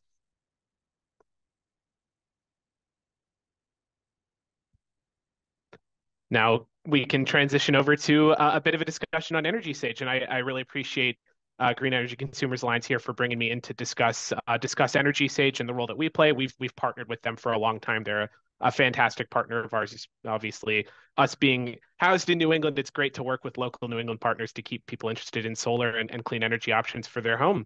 Uh, as a quick background on Energy Sage, we're a national uh, solar and clean energy marketplace that partners with installers across the country to help homeowners, like ideally everyone here, uh, get quotes for clean energy options at their home. We, we started with solar, but we have branched into other options as well, such as uh, community solar, heat pumps. We and we're branching into stuff like EV charging as well. So ideally, our goal is to make full home electrification and, and clean energy resources as abundant, as affordable, and, and as accessible as possible. And, and a, a big way we do that is by working with uh, nonprofits such as such as Green Energy Consumers Alliance to kind of spread the good word, so to speak, help bring in more people towards uh, uh, really learning about all the benefits that clean energy has to offer, and, and again, ideally making the educational part of that process as well uh, very easy to access. Uh, so we can move move forward here. Uh, quick overview of kind of what we'll discuss today. I'll quick intro on myself, what the role uh, of the energy advisor is at Energy Sage. We'll talk through the technology behind solar, how that works, uh, and then talk a little bit more about sort of the role of Energy Sage as a marketplace and in uh, in in that in helping you make your decision. We'll we'll go into community solar as an alternative for people who don't have a home that's very suitable for for rooftop solar. Uh, and then, as ET said, we'll have plenty of time, ideally, for questions as well. And I know a number of people have already put their questions in. Uh, I'll try to tackle these as we go through if they make sense for the specific part of the presentation we're going through, but we may save some for the end as well. If we don't get to your question, absolutely. We'll we'll be doing our best to follow up and answer them independently. And as et said as well some of them might make more sense for more of an extended discussion after the fact. We have a team of advisors such as myself dedicated to that part of the process to be able to help people who have a longer kind of required discussion to really figure out their needs. But uh, again, to kind of go into Energy Sage, so we were started in the early 2010s as an educational resource for homeowners looking to go solar. We, we our goal has always been full home electrification, but we started with rooftop solar, uh, really to create an opportunity for uh, people to make better and smarter energy decisions through simplicity, transparency, and choice. And uh, the way we do that, again, through our marketplace structure, is by creating an avenue for homeowners to get quotes from vetted contractors around them who you know are trustworthy, compare their information on an objective resource. So essentially, get get the quotes without needing to be sold to. uh, and understand what you're getting as, as most people will only shop for something like solar once, maybe twice in, in their lives. So it's understandable you might not know everything. Our goal is to make that information accessible and make you ideally understand you're getting a good deal in, through the process. So you know you're getting competitive bids from reputable teams and are able to get the information you need to make that decision as easy as possible. And and so again, to introduce myself, my name is Matt Schuler. I'm, I'm a senior energy advisor on our energy advising team. My team is here as a resource for consumers shopping through our marketplace to ideally have an objective resource to be able to bounce questions off of, identify next steps, compare your options, and again, I ideally sort of be be your guide throughout the process for assistance you need to uh, identify your next steps and land on the best solution there for you. So before we go into again a bit of a more detailed description of the Energy Sage process, uh, let's talk about solar and, and sort of how solar ticks from a from a residential perspective. So there are essentially five core uh, five core pieces and five core components that make up a residential solar system. You have the photovoltaic panels, the inverters. So essentially, energy is generated in direct current from the solar panels, but your home uses alternating current. An inverter is there to essentially make that energy usable for your home by making it uh, trans- transferring it from direct current to alternating current. You have the racking and mounting systems that actually attach everything to the home and roof or potentially to the ground if you have the space for it. Uh, you have the performance monitoring systems that'll be installed to actually help you track your production, track the output to the grid versus to the home. Uh, and then finally, the optional solar battery. Batteries are a bit of a separate process, but I'd say they've been getting progressively more popular over time uh, as the technology has improved, as the costs have come down, uh, and as more and more areas along the grid are, are benefiting from people having on-site backup uh, to be able to make better use of your own your own power on site. Though again, they are inherently optional. You don't need a battery to go solar. Um, next slide here, uh, we'll go a little bit more into how the system actually connects to your home and to the grid. So energy is generated off the panels. It'll go through the inverter into your main electric panel and then either be rerouted into the home to cover your actual usage on site, or it'll be put out through the meter and back onto the grid. And now that section going back to the grid is really the key aspect of how solar works uh, financially with you and your electric company. Uh, if you think about when your home uses power, most homes are going to use a pretty good amount of electricity during the off periods, during the night, during cloudy days, periods when your system will not actively be generating power on site. If you had a battery, you could store energy during the day and use it at night. But though, because most homes don't have a battery, you are still going to rely on the grid. Now, what that means is that the grid is also benefiting from you generating power. You're able to send your energy back to the utility company and disperse it around your community for them to use in other other higher demand areas during the day through a process called net metering. And, and the next slide is going to display this a bit more in depth. Through a process called net metering, you're essentially able to sell your energy back to the grid. You during the day, you'll generate a bunch of excess power, more power than your home requires to function.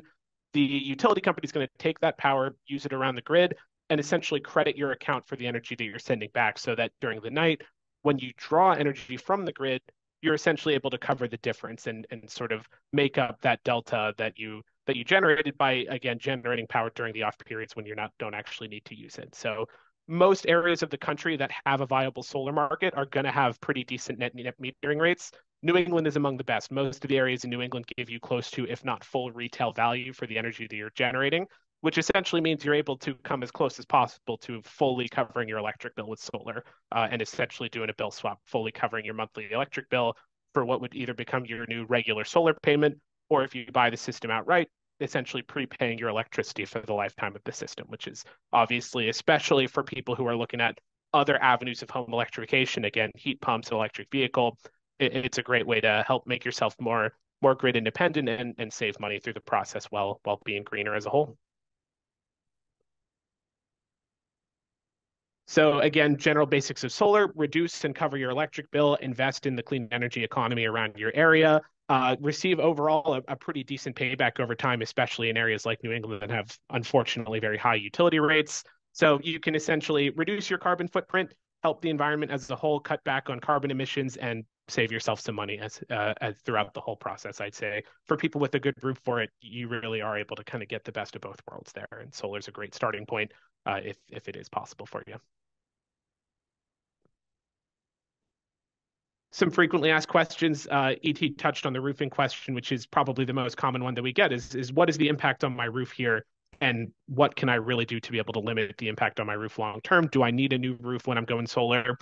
At the end of the day, solar systems are they have a very long lifespan. Ideally, you're looking at, at, at it as a 20 to 25 plus year investment, and your roof should ideally be able to support the system for that period of time. So if you have a roof that has already seen a little bit of wear and tear, maybe your roof is a little north of 10 years old, it's probably worth having someone take a look at it, getting an idea of how much life is left in the roof. It's very common for people who are doing solar to look into replacing your roof uh, as an extension of that. So a lot of solar solar installers are also licensed roofers. They'd likely be able to help you with both ends of that project. You can tie in the warranties together uh, and just do the full project in one swing. If you don't necessarily want to redo the roof right now, but you do like the idea of going solar soon, it is possible to remove and replace the system if you need to redo the roof down the road. It's not necessarily always recommended just because of the added cost, but it, it is an alternative if you're not comfortable with ex- expediting the roof replacement as a result of that. Other than that, I would say most roofs that haven't seen a lot of wear and tear, especially roofs that are within a decade, are, are probably a good good fit for solar. Uh, and solar can actually help extend the lifespan of the roof by giving it an extra layer of protection from the elements that tend to damage roofs, those being snow, wind, hail, direct sunlight is probably the biggest of the group there. Uh, so being able to give it an extra kind of shield, so to speak, is is helpful. Um, sizing your system correctly, we assist with that as long as you have an idea of what your average electricity consumption looks like and will look like long term. The installers will be able to help ballpark a system that'll ideally suit your needs as best as possible and and come as close as possible to really fully eliminating that bill. Uh, the federal investment tax credit We'll talk about this with the Inflation Reduction Act slides that are coming up in a little bit here. Uh, but the the tax credit is beyond covering your bill, really the major financial incentive for going solar that's that's available in, in throughout the country. It's essentially a 30% credit on the total cost of the system. Uh, so as long as you have as long as you pay federal income tax, uh, you are able to claim a pretty big cost reduction on the total system price. Lifespan of the system, we as, kind of just discussed equipment is largely going to be warranted for 25 years. That's kind of the industry standard now for panels and inverters. So it's built to last. It's not like a car where you have to change the oil every year if you still have a a, a, car, a car that needs it. Uh, life lifespan i'd say systems are to systems are built to last they, there really is not a whole lot that you should need to be expecting to tinker with long term maintenance requirements can come up but they are few and far between and your installer is there to assist with that and lastly, and this is another pretty common one, should I wait for better technology? It's it's still a relatively new industry. I'd say there's a lot of improvements that have come over time, and I, long term, ideally, will continue to come. I'd say from the solar perspective, at least, we have seen a bit of a plateau in stuff like equipment efficiency. It's possible they'll continue to improve, but the rates of improvement are marginal enough to the point where I'd say if you're able to put in a system today that's able to cover your needs, you'll save more money long term by being able to offset the extra year or two's worth of electric bills compared to waiting for for marginal efficiency improvements. Something like a battery is a bit of a separate discussion. Batteries, again, I'd say are it's fair if you don't need the battery today to hold off on that. But for solar specifically, I'd say it's now is as good a time as ever with the uh, incentives that are still available. Matt, um, there are a couple questions that I think we could address now uh, regarding roof and size. So I'm just going to fire a couple things at you. Great. So there's a couple questions about roof material. Somebody has a rubber roof. Um, someone else just asked, um, is roof equal to asphalt shingles or the underlying wood supports? Um, you know, what just kind of a do roof materials and and what what exactly are we looking yeah. at when we're assessing a roof? So typically for basic re-roofing jobs, it's going to be the the overarching shingles. Uh, that would be, I'd say, be the simple replacement that a lot of people would need prior to doing the full re-roof. If it's more of a structural replacement, because the structural integrity of the roof itself is really starting to get damaged, that's I'd say going to be a bigger concern. The installer is going to need to confirm that before they install it. It can become a liability for them if they're working on a roof that I'd say needs more of a full replacement job. So that rest assured, if you're not totally sure about the the health of your roof at this point, the installer will confirm that prior to proceeding with the install itself. As far as materials go, you can go solar on a pretty wide variety of roofing materials. There, there are some that are that are generally no goes. Something like a slate roof is typically not going to be uh, viable for solar. Uh, cedar shake roofs, though uncommon, I'd say, are not great for solar. But variety of different shingle types are typically doable. Metal roofs are doable as long as they're standing seam. Uh, the rubber roof question, I, I did notice that early uh, is doable. W- with flat roofs like that, you're typically going to be looking at a weight and ballast system. Uh, as, as uh, that kind of minimizes the actual penetration that's needed since the roof is flat. You don't need to bolt the system in quite as much. Um, but flat roofs are something where I'd say traditional shingle roofs, um, pretty much every installer will be able to do those. Flat roofs, most installers still will, but when you start getting to more niche roofing types, it can sometimes limit the amount of installers who, who will do the work.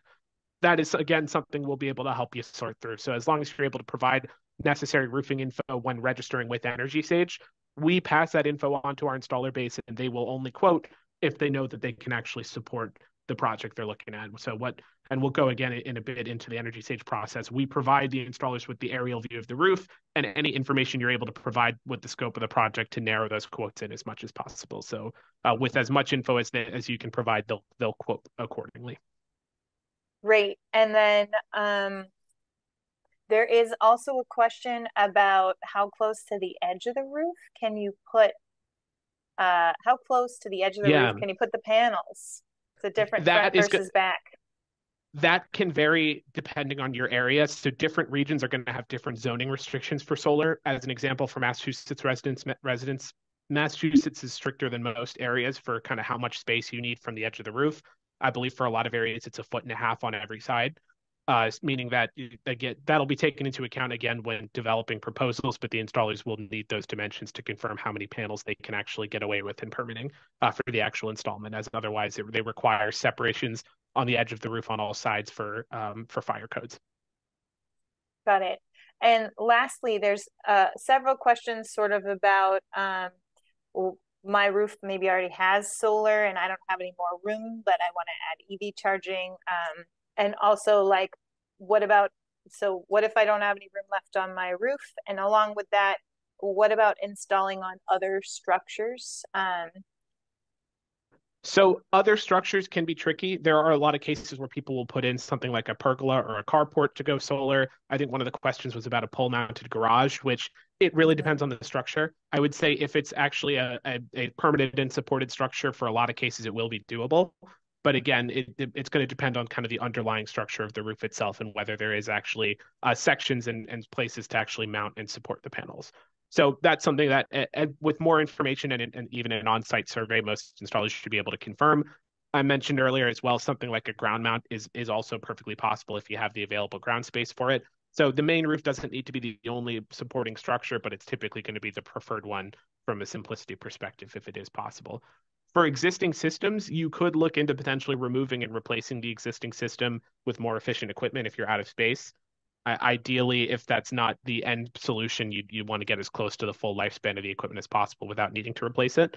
Um, but something like adding EV charging, you can obviously do completely independent of solar. You don't necessarily need to expand the system, and and that's I would say another point we get a lot is is people asking, well, if I can't fully cover my bill, is this even worth it?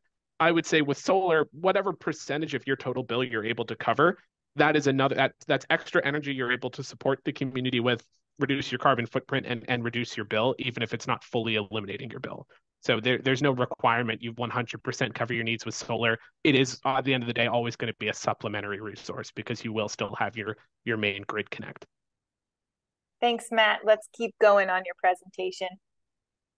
Perfect. Yeah, great, great question so far as well. So, yeah, to quickly touch on the Inflation Reduction Act, and we won't spend too much time here, but this past past last year, the core impact on this for solar was increasing the residential tax credit up back up to 30% where it was previously, and extending it through 2034. So essentially, this locked in the the federal incentive and support for residential solar for for a, a, an extended period, certainly more time than uh, anyone who's actively looking right now needs to be able to claim it again, it's 30% for the total cost of the system, which is now also extended to backup batteries installed with with the system or on their own.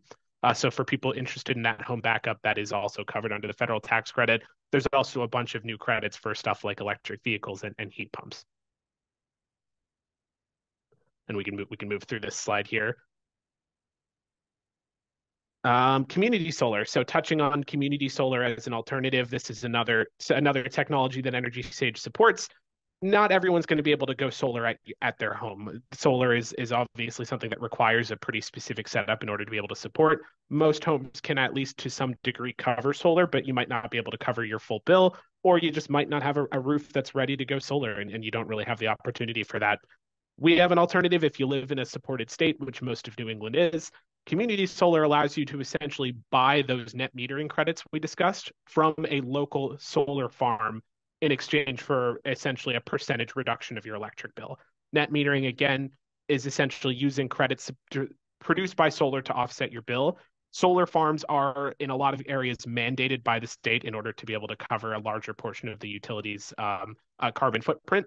So there are these, as you, I'm sure everyone has seen when you drive along the highway, fields with hundreds and, and sometimes thousands of solar panels that are just generating energy and, and putting it directly back to the grid those farms will essentially be able to sell you credits at a percentage reduced rate compared to your electric bill. So you can essentially pay to support clean energy growth in your community and receive a bill reduction as, as part of it. Uh, the average reduction for that is about a 10% reduction in your in your uh, total electricity costs throughout the year. You you allow the electric or the community solar farm to essentially offset your bill. In a lot of cases, they will then sort of cover your electricity costs for you, and you'll be paying them at a reduced rate. So we have a marketplace for community solar. We partner with solar farms again across the country in areas where community solar is viable to let you compare rates, actually see the location of the farm itself, and begin your sign up process directly through Energy Sage. Uh, all it takes is some general sign up info, an estimate of your average electric bill, and then you can get connected with the solar farm to estimate your costs and and actually log in your your subscription savings through the bill itself. Uh, for people who are planning on moving soon, or for people who don't like the actual um, dedication that long-term solar might require, and again, if you're looking at a 25 plus year system, it is a bit of a long-term investment. Community solar, you can cancel at any time as long as you give them a cancellation window. Subscribe to clean energy in your area, and again, help fund local solar projects as a result. Um, uh, so again, it's I would say compared to solar, which requires an upfront investment, community solar is essentially just it's essentially just a bill swap, trading out your direct utility bill for a new community solar bill over time. Um, so again, community solar providers, the farms have an agreement with the utility. They build the farms, they generate power, send it to the utility. You pay the solar provider, and then they in turn cover a, a large portion of your electric bill. Uh, we don't we won't dip too much into the actual billing degrees. This to, as a quick oversight, there are two different types of community solar billing. Either dual, where you both pay your electric bill and your solar bill, and your electric bill is going to be reduced according to the actual value of the solar credits. Consolidated billing, again, the farm handles your utility bill through the utility for you, and you only pay your solar farm. This is going to vary depending on your area and depending on the developer that you're working with. So to round things out here to kind of come back to the energy sage overview again our, our goal is to be able to help people best educate themselves on the options that are available and find reputable companies to really complete your project uh, i believe moving on here we have an overview of kind of what that process process looks like I know a, a, most of the people who answered the poll at the beginning here said that you're in the research phase right now, which is great. That's again kind of I would say where most people who look into solar but don't end up doing it get get stuck is trying to get the info that you need to be comfortable and, and confident with the decision. We have thousands of content resources on our site to be able to help you begin the educational process, whether whether it's equipment reviews, overviews of utility programs, incentive programs, and basic guides on how to get started. That's that's really kind of where where we begin and where we help kind of bring people uh, bring people onto the resource. Once you're ready to begin, the sign up process through us only takes about 10 to 15 minutes. You give us your address, you give us your average electric bill, and a copy of your bill if you're able. Uh, we don't we don't again, as ET said, release your personal contact info to the installer, so you're you're able to handle your shopping process completely through our site if you're interested uh, then you receive quotes within typically one to three days once you've registered. Uh, we we send out the property to our network of installers. Any company who works in your area and is able to bid will review the info, size out a system for you, and actually give you a concrete proposal and quote, so you can get an idea of the pricing and and again the, just the general value, equipment, and, and whether you're interested. You can take as much time as you need to review. This is where my my team comes in. So again, we we have a team of advisors here help here to help you review compare your options, educate yourself, uh, and ideally get to the point where you're ready to select a contractor. And once you're ready to select, we connect you with them directly. You'll be moving forward to finalize a proposal. And that full process from selecting through install typically takes about three to four months. The install itself only takes about a day, so you shouldn't expect to need people on site uh, for a week on end to actually get the install done. Uh, but to get there, they have to they have to permit the process, actually source the equipment, and then get the final approval done through your utility. Uh, but again, we we ideally are here to help map out that process for you and make it as as simple and accessible as possible. I just want to jump in and, and say again, free, no obligation. You can go to Energy Sage's website and use all of their learning resources for free. You don't even have to register. Registration um, is free, and then there's no obligation. Energy Sage themselves is not a solar installer, but they will connect you with uh, solar installers who, again, won't have your contact information. They'll just have information about your home to give you quotes. There's never an obligation to move forward. There's never an obligation to go with an installer you found through Energy Sage. If you find someone else outside of that process that you want to use, um, you know, you can do that. So this is a, really a wonderful tool to help you. Absolutely. And and I'll add on if you've already received quotes and you're just looking for some other comparisons, that's another thing we can assist with. If you want another set of eyes on the quotes you've already gotten to help give you an idea of how they stack up to the Energy Sage bids you get, we get those conversations all the time. That's absolutely uh, a worthwhile conversation to have, if nothing else, for a sanity check or, or making sure that what you're getting is competitive. And if not, then we can again help you get connected with companies who might be more competitive or more affordable than ones you've already gotten. Um, and if at the end of the day, if you decide, hey, I've got all these quotes, but now is not the right time, you can put the search on hold. There's there's no requirement that you ever proceed. Uh, ideally, we'll help you figure out whether it makes sense for you. But if now is not the right time, you, you can put your put your account on ice, so to speak. And if you'd want to re-engage at a later date, you can always come back around and get your quotes updated once you're ready. So Matt, um, this begs a question that comes up every time that I think would be good to cover now is how do you make money? How does Energy Sage Absolutely. make money? And I'll jump in and also say that um, when uh, Green Energy Consumers makes a referral to Energy Sage, and uh, the, like any of you re- are referred by us, if you go through the process and decide to install with an installer that was recommended by Energy Sage, we do get a $250 kickback that we put toward our programming. So I wanted to also make that clear. But go on, Matt. Absolutely, yeah, and and this is a fantastic question. It's one it's one that we field all the time as well. Is kind of understanding where's where is our stake in the game, so to speak. How are we able to provide the resource that we do without charging customers anything? So again, as a background on us, we a lot of our initial funding came through the SunShot Initiative with the Department of Energy as a consumer protection resource. So as a resource built to making solar more accessible, more affordable, and more transparent for homeowners, we've gotten a lot of federal funding to be able to keep that in place and provide the service that we do. So again, though we are private, we, we've gotten a lot of public funding as our marketplace is structured, installers who work through our network do pay a fee to use the service. So uh, being able to kind of help assist with an installer's operation perspective. We're able to cut down on their own costs from a marketing and, and consumer consumer connection perspective. Installers do pay for that.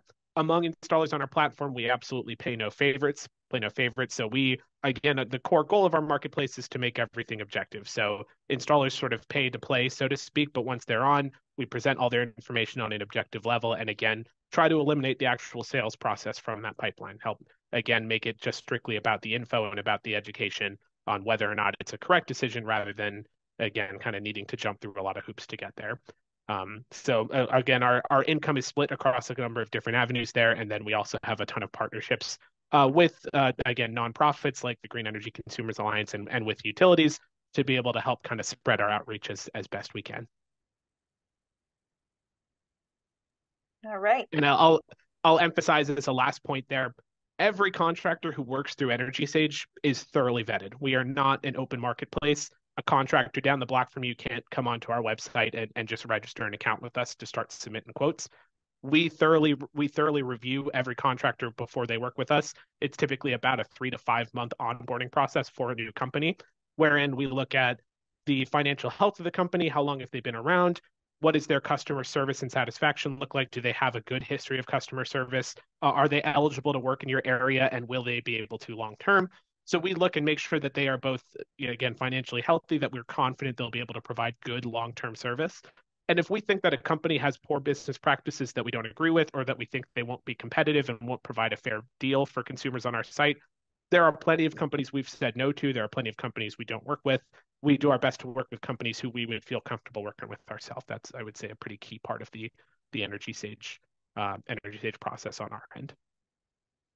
And uh, as a quick snapshot here, if anyone here has already registered for Energy Sage, these pages probably look familiar. If you haven't, I know this is a, a lot of numbers here to present initially. Here's a, just a snapshot of what the actual quotes look like on our platform. Uh, so we try to show you the, the deep financials of the bids. What is it going to cost you? What is the return for you over time versus your current electric bill? How long will it take for the system to pay for itself? Uh, and then we also, if you're able to delve deeper into the quotes, we give you a full overview of the equipment. We have spec sheets and, and, and pages to actually allow you to evaluate the equipment itself, uh, view the industry endorsements for each contractor, and then if you if and when you're ready, you can actually go into the contractor's profile pages with us directly, read some customer reviews and certifications, check out the additional services they offer. Uh, again, our goal, though it is again it's a lot of information up front, is to make sure that any information you feel like you need to be comfortable with the decision and get an idea of whether it's right for you, it, it'll be available here. And then when you're ready to go, we have ways for you to book meetings directly with the companies. You can send them a message on our platform and really kind of continue the discussion and communication there, however uh, you feel most comfortable. And last plug for for my great team again here. We have a we have a great team of energy advisors working internally on our end to be able to help provide service and support every step of the way there. So whether you need assistance registering, evaluating information, identifying what you're looking for, and helping really map out the ideal system and search for you all the way through making a final decision and actually supporting you once you're moving forward with a contractor through us directly. We are here to provide that service and we make it uh, very easily accessible for whenever you're ready to actually get a meeting in place to, to start talking uh, talking specifics. So I, I, know we have a number of questions we can look to get through. If you're looking to get started, you should see there's a QR code on the right side of the screen here. You can scan that to actually begin your registration process directly. This will make sure that you're linked to our referral system with Green Energy Consumers Alliance as well. That way, we know you'll you came from them and, and that you're you're here as a, a representative uh, um, from from GECA as well. Uh, and so again, the registration process it's quick and easy. If you haven't done so already, again, I'd say absolutely a great way for you to get an idea of whether whether your house is viable for solar and whether this is the right decision for you. And if you register through this QR code or that link, greenenergyconsumers.org slash solar, you do uh, put in place the connection that allows us to get a $250 referral kickback if you decide to go solar through um, a, a, vendor you find via Energy Sage. And uh, we appreciate that. So uh, just letting you know that that's how you make sure that happens. Perfect.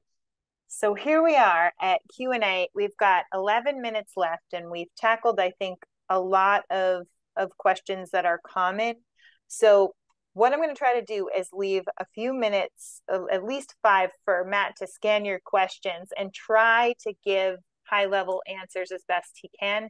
I want to remind you that for your specific scenario, you certainly can set up a time uh, with a solar advisor and really talk it through.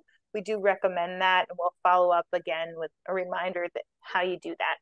So, um, first, I want to ask a couple questions that I think are are common. So, like, people are asking a lot about pole or ground mounted situations, and if the incentives still cover them, and if Energy Sage installers would take those sort of installations on.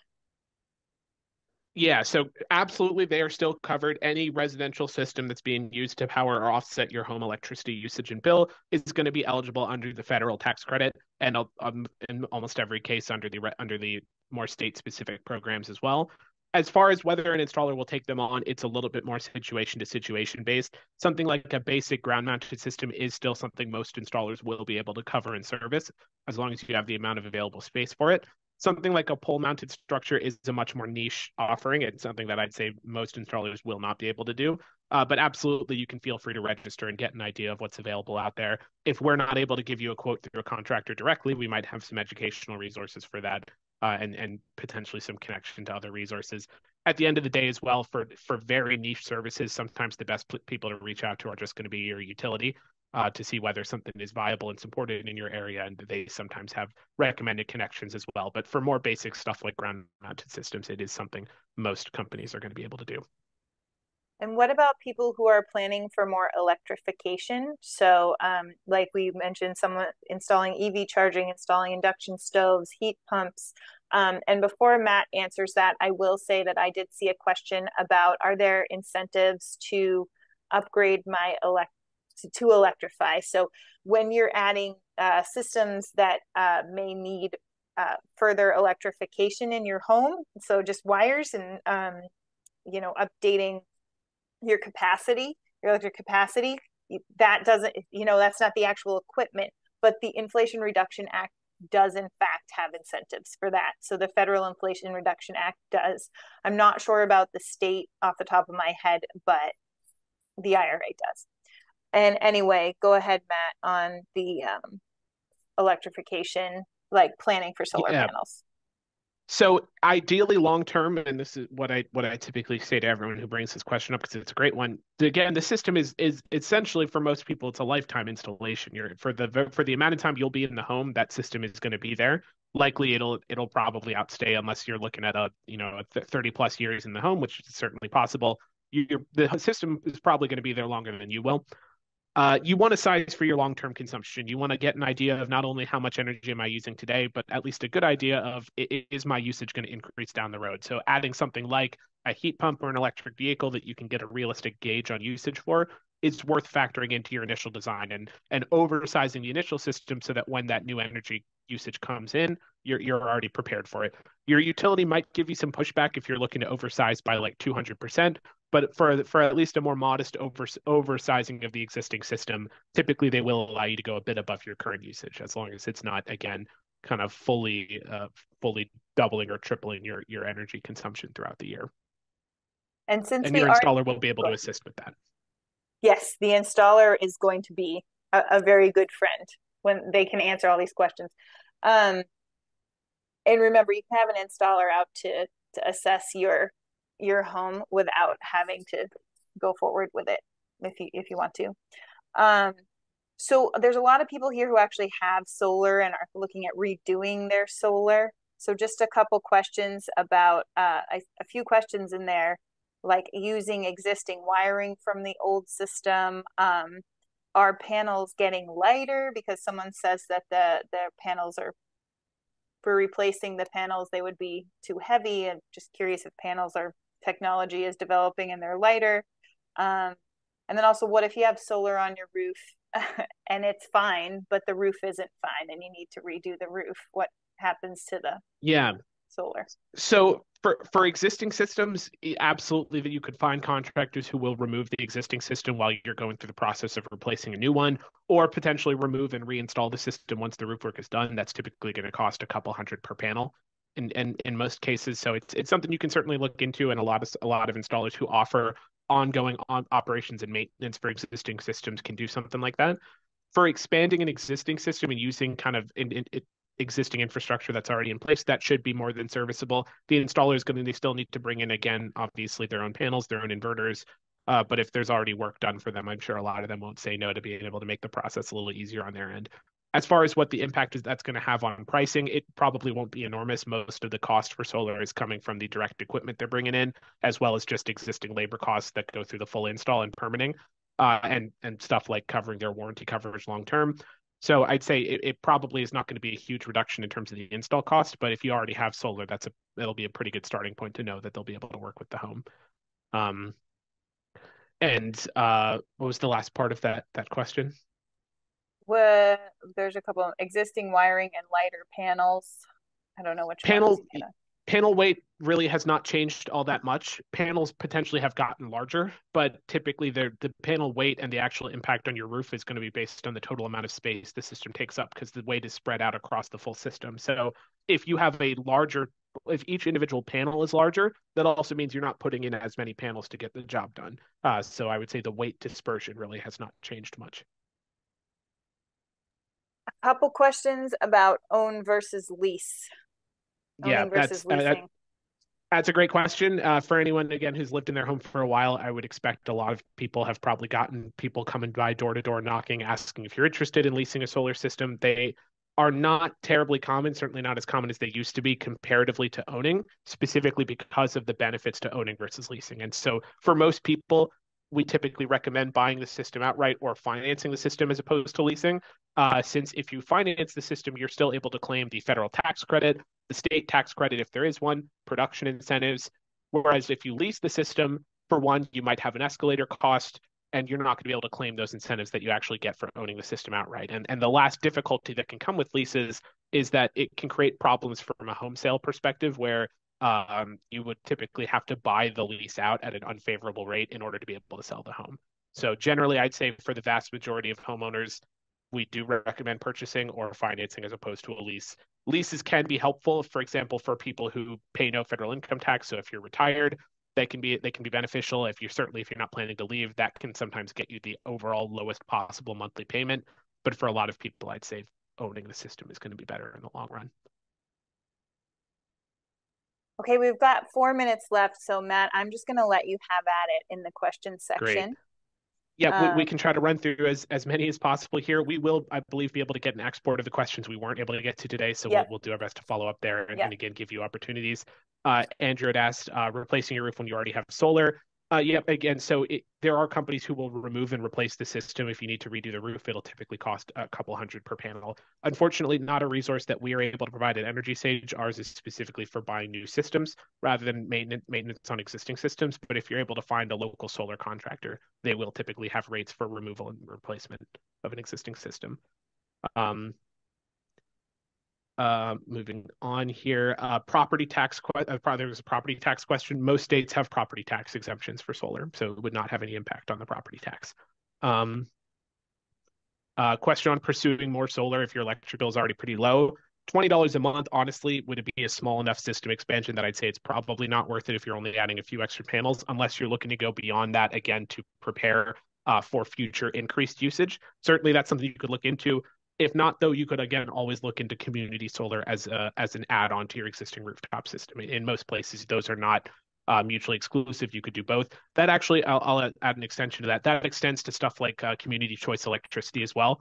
Community solar does not actually change your energy supplier. You're still going through your grid supplied energy.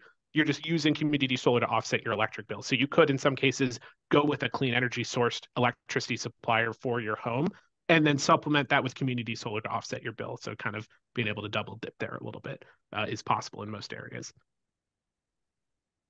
Um, scanning through here, what determines the size of the array? Uh, this again was going to come down to installer sizing for your long-term usage. So either current usage or future usage, they'll ideally try to target that as best as possible within the restriction provided by the utility company. So utilities will some in some cases not allow you to go above a certain mark, but installers will be able to help maximize that to the best of their ability. And your installer is going to have a good understanding of that.